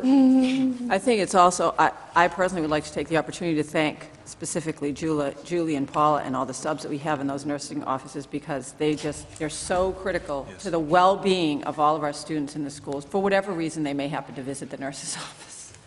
And is this typical throughout all of the schools, or specifically Pond Cove, do we see the highest rate of visits? One of the questions My that I sense have. would be, it would be Pond Cove, but I, we can check on the other two to see what, what it is. Thank you. Just a question. Uh, And I think we Okay. can go to recognitions now. Um, Vaccination, did you do the, vac- oh, you did, Yes. you, did- I'm sorry, yep. Okay, so we're moving on. Jeff? No, I'm gonna- that's going to be under recognition. Okay, sorry. Okay, so volunteers, must be Gail. Thank you for hanging in all this time. Oh, Of course. Um, Thank you for inviting me here to recognize volunteers. Um, As you know, the backbone of our school is the staff and the financial support that we we receive from the community. I believe the ribs, so to speak, if you go with that analogy, are the volunteers. Um, Last year, and actually for the past five or six years, we've had consistently over 950 volunteers system-wide, which is phenomenal when you think of that kind of support. Um, Last year, these volunteers donated 23,000 hours of volunteer service, with a dollar value ranging from 155,000 if you want to go with the minimum wage, to 430,000 if you use the National Points of Light Foundation figure, which you- the United Way uses. Um, Our volunteers go way beyond what we ask them to do. We, as a community, are in- hugely fortunate to have these volunteers, and all of you sitting up there, well, without, except Alan, are volunteers. So thank you for your service to us, and Mary, but, man, she doesn't get paid for all she does. So, um, thank you very much. I've been invited to give you a sampling of what the volunteer support looks like this fall, and I want to tell you that this is just a sampling. I've kind of picked here and picked here and picked over here. It, there's no way that I could stand up here in a reasonable amount of time and tell you what's going on, but I've chosen to do some sampling. Um, Under reading and math support, we- um, Reading Recovery has five volunteers. A community member, Kathy Fabish, is there for the second year. She meets with three students for 15 to 20 minutes each, uh, um, let's see, one day a week. Hillary Roberts meets two times a week. She's a parent with one student for 20 minutes. Jane Kremer has come on board this year, along with Hillary as a parent, and she meets three times a week, first thing in the morning, with a first grade girl for 20 minutes a day, and does her reading recovery work um, to keep her up to speed. It's making a huge difference. We talk about reading in the high school, well, here's what we're building, these are our building blocks, and this one volunteer is helping meet that gap for this little girl. In the middle school, reading and writing conferences um, in Margaret Welsh's classes have been supported by community member Susan McVicker, and this is her 13th year. So we can really applaud her. She had, um, Susan, Margaret Welsh also has many parents that help out as well. In the High School Achievement Center, student volunteers are certainly the mainstay of that Achievement Center. Um, Writing conferences, we have three people, one a community member, and two parents who are on-call basis. Andy Ward is there for the third year as a community member. Susan Spagnolia and Debbie Cushing are on-call as parents. Marianne Tren- Trenfaglia, sorry, um, for her third year is there for chemistry support, one after, one afternoon a week. And it's consistent, week after week after week. She's in there, showing up, waiting for students who need some help. Um, Beth Gadudi gives math support in the Achievement Center. In the Pond Cove Math Lab, Debbie Butterworth has a cadre of volunteers this year. When she has a volunteer in her class, she is able to double her caseload, which is pretty phenomenal. Um, three students uh, give 30 minutes one time a week. Emily Croft, these are high school students, Tori Downer, and Leah Fisher. Um, for parents, Karen Burke, about 75 minutes a week, and Mary Jane Ham has donated countless hours. So we are doubling, when those students are there, we're doubling what Debbie can do. Um, in the world language support at the middle school, we have a woman by the name of Marcia Chase. She's a community member. This is her second year. She comes in three days a week and works seven to 10 hours a week for no charge. Phenomenal. And she is versed in um, delivering language skills to students, but she helps out in any aspect. I think Susan Dana's here and could vouch for that. And we will talk about her later on tonight also. Great. Good job. Um, Computer support, we have in the high school web design class, um, a student, a past Cape graduate. I would classify him as a community member at this point. He comes in three days a week, two hours a day, and helps out in the web design class. Um, In the Windows lab, all aspects of that lab, student, um, paperwork, whatever needs to be done. Ann Waker is there one day a week for two to three hours a day, and this is her eighth year of doing this. This is no charge. Library support across the board is, um, is, is very strong. At Pond Cove, we have three book menders this year. Uh, Marlene Potter, a library assistant, took a class, and she has trained these volunteers. Um, They're all parents, Susan Vickery, Jennifer Hanson, and Leona Tarr. Um, We are resurrecting books that we would probably have to throw out, so we're putting them back on the shelves. Also, in Pond Cove Media Center for shelving, circulation, and student support, we have three community members, actually four community members. Caroline Carroll is there for the fourth year. Uh, She comes in once a day this year, once a week this year. Jesse and Rick Haskell are back for the fourth year. They're, both of them are in their early 80s, and they continue to refuse stools to stand on or um, to not have to do the lower shelves. They're down on their hands and knees, putting the books back on the shelf, and helping students as they go by. Um, Betsy Moyer was a parent and now is a community member. This is her 12th year of being in the Cove Media Center. She could probably run the media center. Again, this is no charge. Susan Harper, a parent, has come on board this year to help out. In the high school library, with helping with shelving, circulation, student support, research, bulletin boards, we have community member Kathy Fabish again. This is her eighth year in that library. Um, We have three parents, Bridget Gary, Kathy Moran, and Wendy Seltzer, who help out there. We have volunteer support in the life skills program. Uh, Middle school and life skills, middle school and Pond Cove Life Skills go swimming on Friday afternoon. They need help. We have a community member here for the second year, Elizabeth Webster, who gets in the pool and swims with them. Karen Johnson, a parent, um, as I did the research for this report, um, we couldn't add up the number of years that she's worked for us and the number of hours that she's given. It's just, it goes beyond and beyond for um, years and years since her senior, well, he's a senior post-grad this year, I think, and she started when he was in first grade. So she's been here for a very long time with us. On board newly uh, this year is community member Mary DeFusco. She was a staff member last year, so she helps out with these kids. Also for the Winter Special Olympics at Sugarloaf, um, for the second year in a row, two communities, community members have donated um, condos for the participants and the coaches, so there is no charge for this. This is Lee Wilson and her family, and Jean and Bob Marvin. And the kids have really benefited from being able to stay together in a unit. Um, Resource speakers, we have a multitude of resource speakers all year long. The most recent ones are coming up in the fifth grade Japanese unit. Um, Rachel Muscat, who's a junior at Cape Elizabeth High School, spent five weeks in Japan, and she is going to um, do some presentations. Also on board is a community member, Phil Na- Na- Naoki.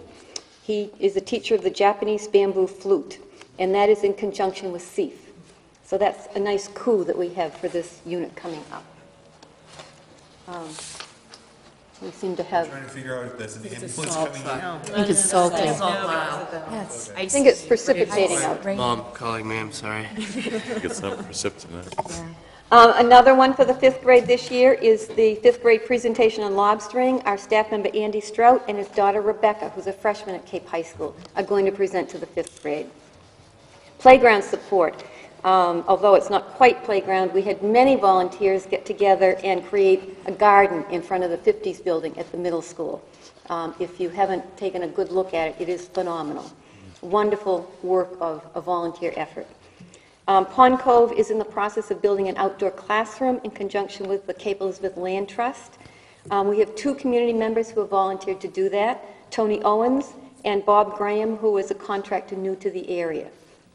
Uh, Pond Cove also has established gardens along the third grade wing. We've divided it into plots. Some classrooms have taken plots. We had one plot go begging. And two Cape families have stepped up to the plate and are sharing that plot. The Ashley Werner Collins and her family, and Rebecca Millett and her family. So it's a wonderful community effort. Thank you, Rebecca. Don't thank me yet. Okay, we'll wait till the spring. You see if it grows. Thank you. Thank you for the effort. Um, The eighth grade advisory group has just undergone an awareness session. Um, Let's see, it's Anne Marie Dion's group. I just met with them this week and brought them up to speed on volunteer awareness. They are going to come down periodically to play with third graders during their recess and using Spanish words whenever possible. Um, The third grade is studying Spanish. So that's something we've never tried before. I think it will be great. Um, I'm almost done. We also have support for after-school clubs. Um, We have a community member, Eric Jensen, who is absolutely incredible. This is his fourth year. He is a very strong support and vital member of that robotics team. Um, We have an adjunct co- coach who's a community member. Uh, His name is Greg Sinnott. He works once a month for them, and he's an electrical engineer from Fairchild. So a nice connection for them. Throughout the school, all schools, we have general student and staff support that would go on and on and on. Excuse me. Um, An example of that at Pond Cove is a group of parents that came together in a very short amount of time this fall to help first graders in the lunchroom. They just needed to be there for September. They needed to help the students open milk cartons, get the paper off the straw, open their lunch boxes, take the top off applesauce, get the lunch boxes closed. And they really acclimated these kids to the lunchroom in a very, very um, caring way. I think Tom could vouch for that. Uh, The fourth grade has a main, a famous Mainer interactive bulletin board that gets changed every two weeks. We have two parents that take turns doing that, Ann Ingalls and Neil Moran. Ninth grade English classes, we're in a bind this fall as far as materials.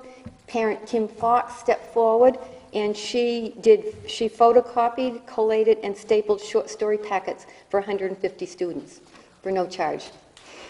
Um, We have extensive classroom support by parent volunteers, especially at Pond Cove, because these students are not as independent in their learning as middle school and high school students are. Um, it- Every day, you just look at the volunteer check-in board, and you will see how many volunteers come and go on a very regular basis. Our parent associations provide incredible support in all areas of the school. At the high school, the leaders are Debbie Cushing, Susan Spagnola, the middle school, Trish Brigham, Linda LeBlond, Pond Cove, Sarah Lennon, and Michelle Zakowski. We have consistently a large group of high school mentors who come and support middle school and Pond Cove students in a multitude of areas. The volunteer support at our school is truly phenomenal. So, on behalf of the school board and the superintendent of schools, I'd like to read a proclamation of appreciation for the volunteers. And we will be publicizing this, and I will get it to you to sign. Once I correct the spelling of your name, Jack, I'm so sorry. Um, In recognition of the volunteers in the Cape Elizabeth school system, We, the members of the Cape Elizabeth School Board and the Superintendent of Schools, do hereby honor each student, parent, and the community member who offers volunteer service in support of the students and the staff of the Cape Elizabeth Schools. Your dedication enhances the learning of all children. We applaud your enthusiasm in helping our students achieve excellence. So thank you very much for giving me the opportunity to speak on behalf of our wonderful volunteers. Are there any questions? Thank you, Gail, for putting that together. Thank you, Gail. It's really Thanks. It's a pleasure. Thank you. The next one is, Sue Dana is here this, this evening. Uh, We had, I had a letter in your packet that we were going to read, and Sue has come, and she said to me, "I really don't feel comfortable getting up and talking about myself." And I said, "It's important you do, because of what she has done uh, for recognition of her program, herself, and uh, her abilities." So, Sue, would you take the stand for us, please? try to keep this uh, brief. I'm Susan Dana, I'm a Spanish teacher at the middle school, and I really didn't plan, I didn't know I was going to be speaking tonight, so, but um, I did in November, uh, uh, actually about three weeks ago, I presented at a national conference at the ACTFL Conference, which is the American Council of Teachers of Foreign Languages. Um, And it was really such a wonderful experience, and I would just like to start off, first of all, I'd like to thank the the Middle School Parents Association who funded it, and um, the Cape School Department, and also Flame, the Foreign Language Association of Maine, gave me a professional development scholarship. Um, Part of the stipulation of that scholarship is I will present the same session that I presented in San, the conference was in San Antonio, Texas. So I will present that same session at the Flame Conference in March of 2008, in the next- couple of months. Um, It's just hard to really, to summarize it. Just being able to go to a national conference and also presenting at a national conference was really very exciting. There were 6,000 foreign language teachers there from around the country. Um, I'm with, I mean, you hear Jeff talking about his statistics, and, I mean, there are um, teachers there from Shaker Heights, from Clayton, Missouri. I mean, these are schools that we've heard of that I think um, are within the consortium that we're involved with. And um, in, in terms of my session, there are about 150 people that attended my session. I did um, hand out a survey, so I'm getting feedback from the session. I'm going to tweak it a little bit based on some of the feedback I've had. I haven't really had time to digest all of the data yet, but um, my session was entitled, uh, was kind of a fancy one, um, Bridging Culture th- uh, Through the Use of Traditional Hispanic Children's Games. And that's been an interest of mine for about 20 years, is using traditional games in the classroom. Um, Started out, I did actually get a sabbatical from the Cape School Department in 2003, a a semester-long sabbatical.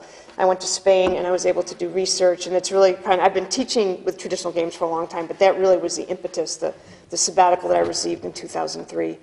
Um, And then from there, I got a CEF grant, and I've just done, I've presented at Yale University at another conference, and I presented in Acapulco. So it's been, each time I get more feedback, and I'm learning more games, so it's just been really invigorating to me.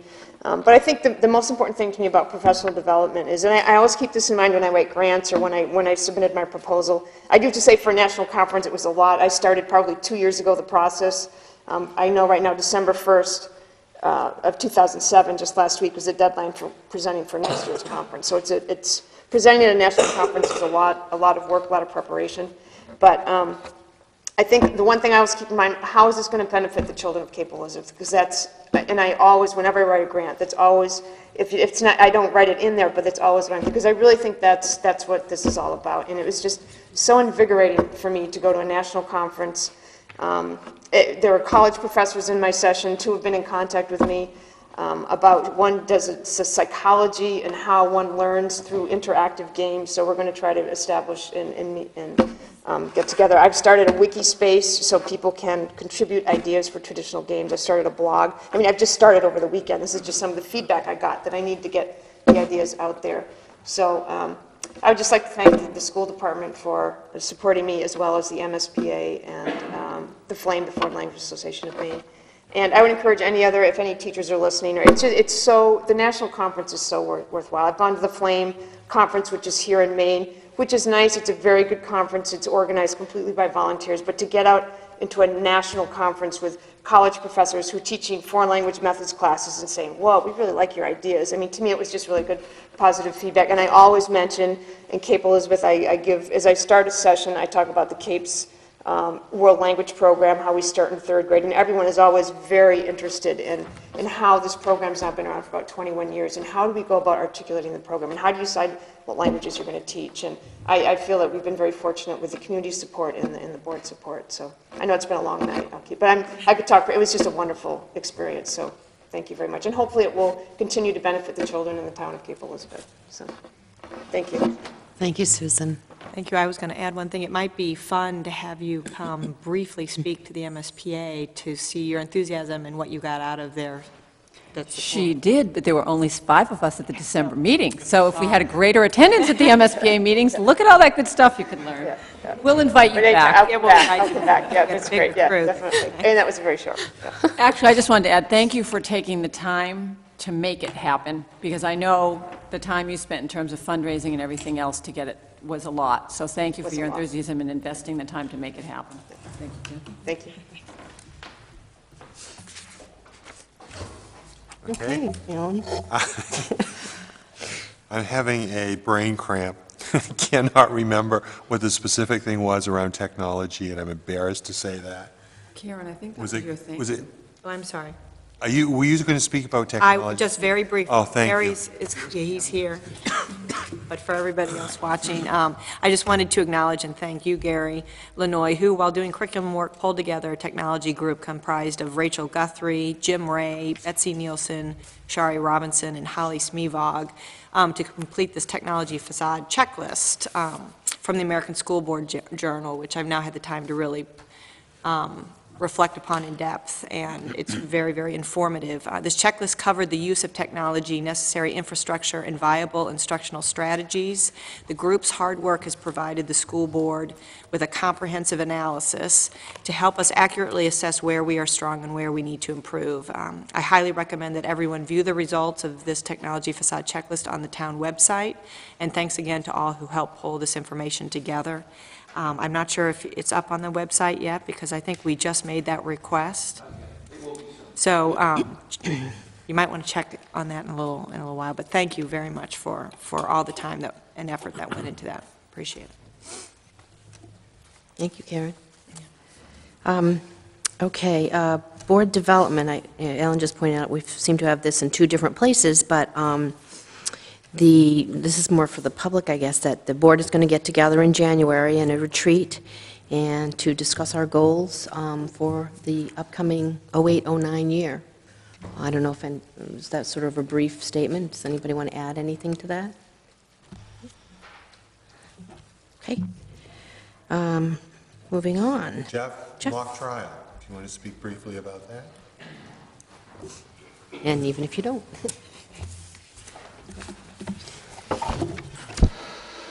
There are public opinion surveys that have been taken for years and years and years and years and years to try to find out what people's number one fear is in America. And the consistent results are the number one fear of Americans for years. Well, let me say this. The number two fear of Americans for years has been dying. And the number one fear of Americans for many years is speaking in public. So, this is a gross misuse of statistics, but one could conclude from that that people would rather die than speak in public. To go to watch the mock trial kids, um, I would urge board members over the course of the years, if you, if you get an opportunity, uh, go watch our kids participate in mock trial, as in the World Affairs Council at the UN. It's just unbelievable what they learn, what they do. Uh, this year's senior class has gotten to the state finals three out of their four years. Um, we keep getting beaten by Hampden Academy, which is a has a phenomenal program. Um, they, their kids spend far longer than ours do in preparation, but they're just absolutely impressive to watch. Um, our kids are almost as impressive to watch, with far less sort of time and preparation going into it. And to see kids in the Law Court of Maine, which is Maine Supreme Court, calling witnesses, objecting to testimony, citing evidence, the hearsay rules, character evidence rules, and exceptions to hearsay rules, and all these things, thinking on their feet, is just extraordinary to watch, particularly when their judges are the Chief Justice of, the, of Maine's Law Court and a couple of other judges. Um, it really is a phenomenal opportunity. Our kids have done really well. Speaking of volunteers, um, Rick O'Meara, uh, a lawyer in Portland and a parent, has been a volunteer coach of our mock trial team for years, and he has done a phenomenal job. He's so detail oriented and really gets the kids so well prepped with You know, it's important that the person went up this staircase and the bedroom was one person's bedroom and not the other person's bedroom, and they understand that in this murder case, uh, why that is significant and to be able to ask questions about it. I also wanted to mention the four, I think it's, and I hope I, I don't make a mistake and leave any out, um, one, two, three, one, two, three, four seniors um, who have been part of the program for four years. Um, Libby Cummings, Morgan Alden, Haley Cushing, who was here today with the, with the World Affairs Council, and Bethany O'Meara have provided some wonderful leadership over the years. It's a great program, and I know time is short, so I will leave it at that. Yep. Thank you, Jeff.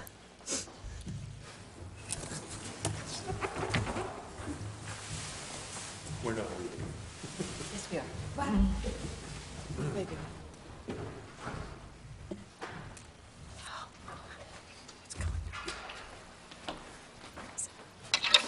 Kathy and I are going to take on a little different role for a few minutes. And uh, I would ask Gary if he would uh, help us out, please.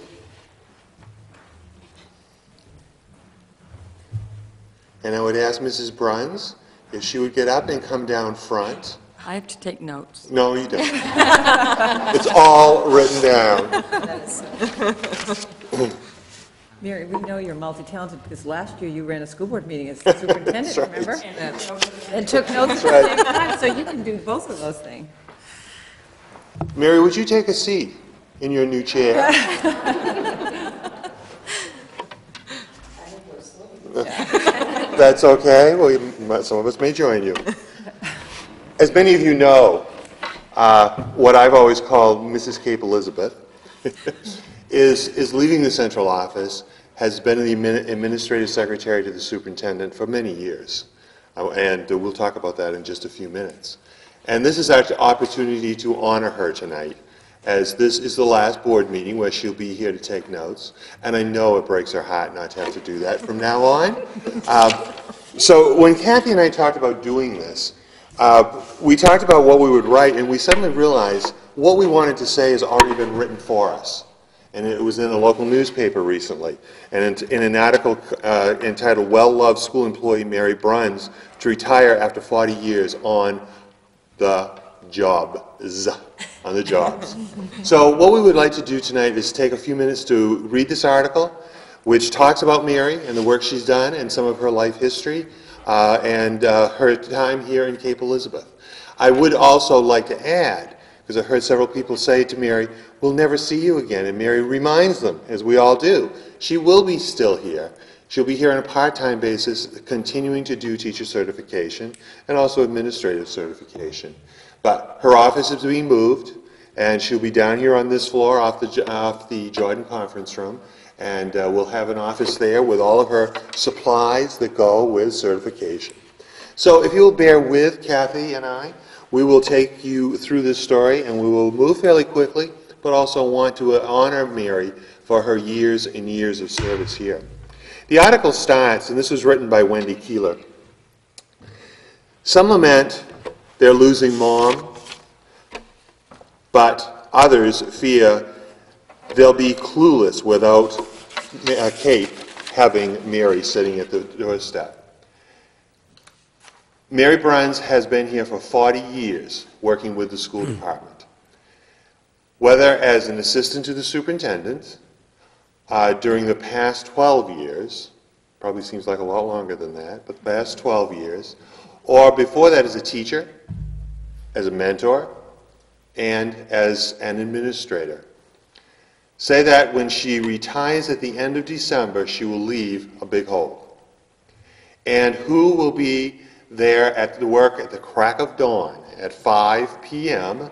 Uh, now 5 p.m. is in the crack of night because dawn hasn't come yet, five days a week. Taking minutes at night at board meetings like tonight, where we've retired her for a few minutes, and often working weekends.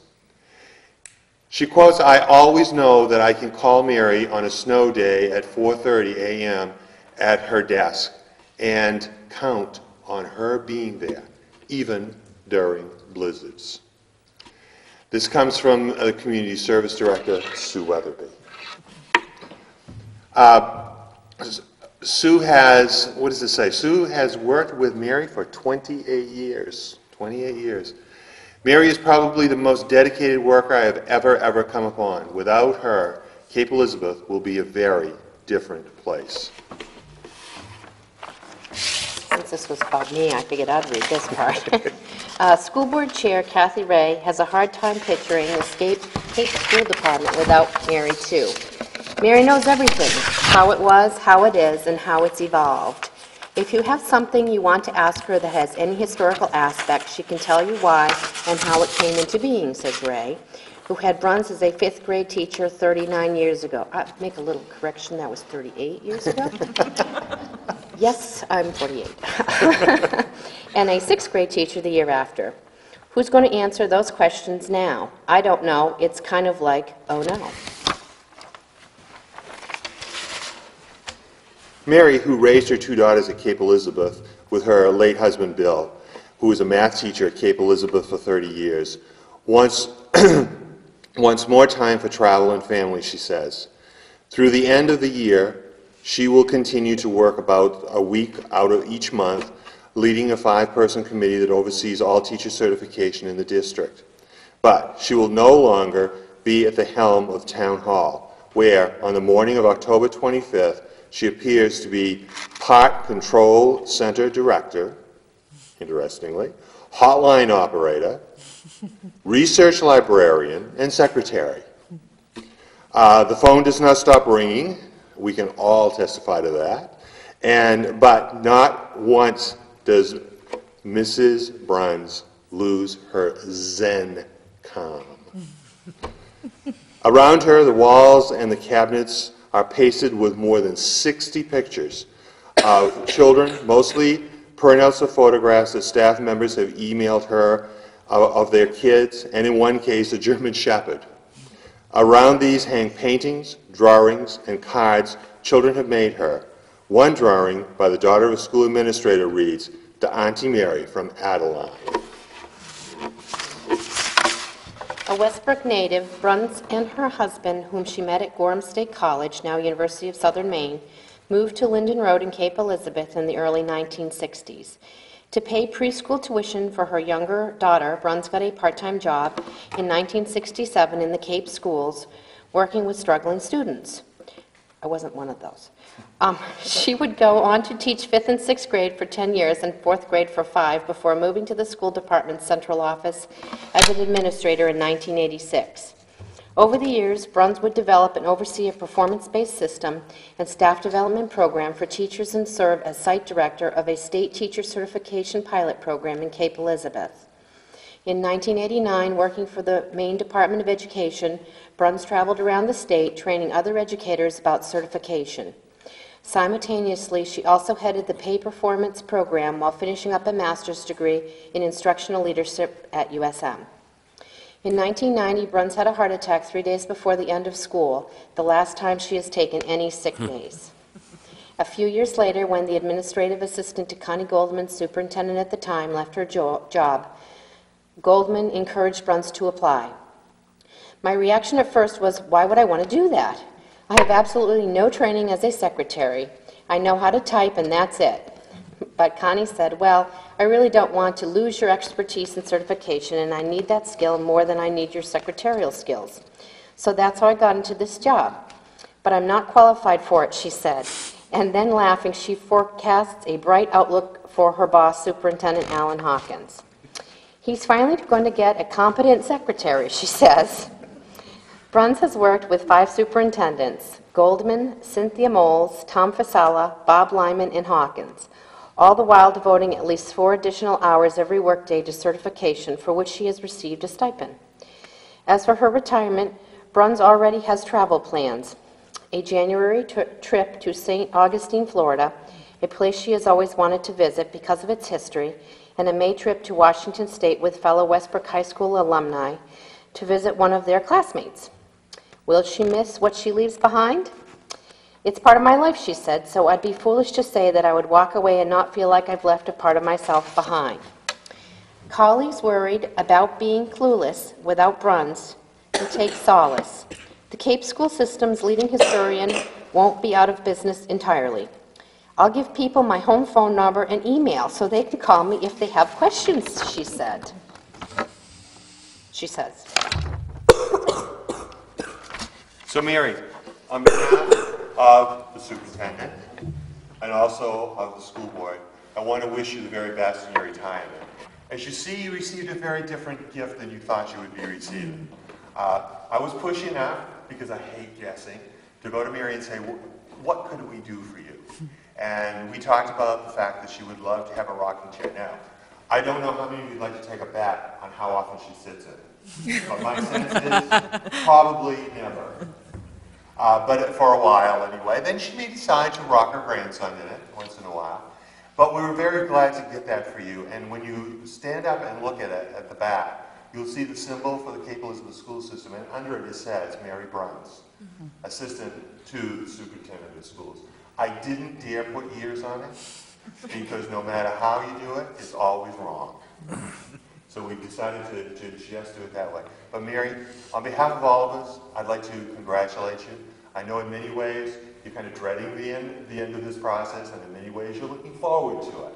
And we'll go from there. Knowing that how tired many of you are, and we still have some piece of the board meeting to go on, we are going to have snacks afterwards. But I would like to just break it up for a few minutes and give you each a chance to come up and congratulate Mary in her rocking chair, because it's probably the only time you'll see her in it. And so if you'd like to take a few minutes and come up and congratulate her, then we'll return to the meeting, finish the meeting, mm-hmm. and then we'll have snacks as well. So please come forward with Mary in her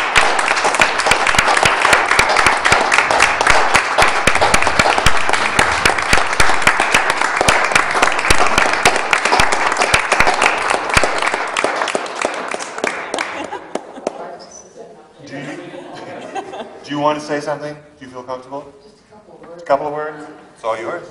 We didn't leave any bad notes here, did we? I would just like to comment on Mary's ski sweater. This is a new career she's taking up skiing. I figured with the weather tonight, I should be prepared to get home another, one way or the other, so if the car won't make it, I can ski. Um, I won't take a lot of time because it is getting late, but I'd be remiss not to stand up here and at least say thank you to all the board members, to Alan, to all my colleagues, and um, everyone for the many years I've spent here and the many different things I've done here. Um, There are a few little errors in the article in the newspaper. It was actually 1992 that I missed the last day, had the heart attack and missed the last day of- for sickness, but that's okay. Um, I will miss being here every day. It's been a part of my life for so long.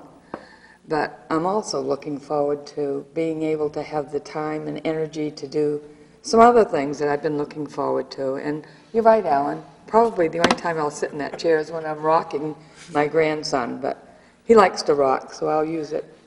And then a few more years, maybe I'll be sitting in it a lot. But first, I have to learn to slow down a little bit. And uh, I've been accused before of not knowing how to retire, since I've done it three times in this school system and haven't missed a day of work yet. So at least, at least this time, I'll only be coming a few days a month instead of every day. So, thank you.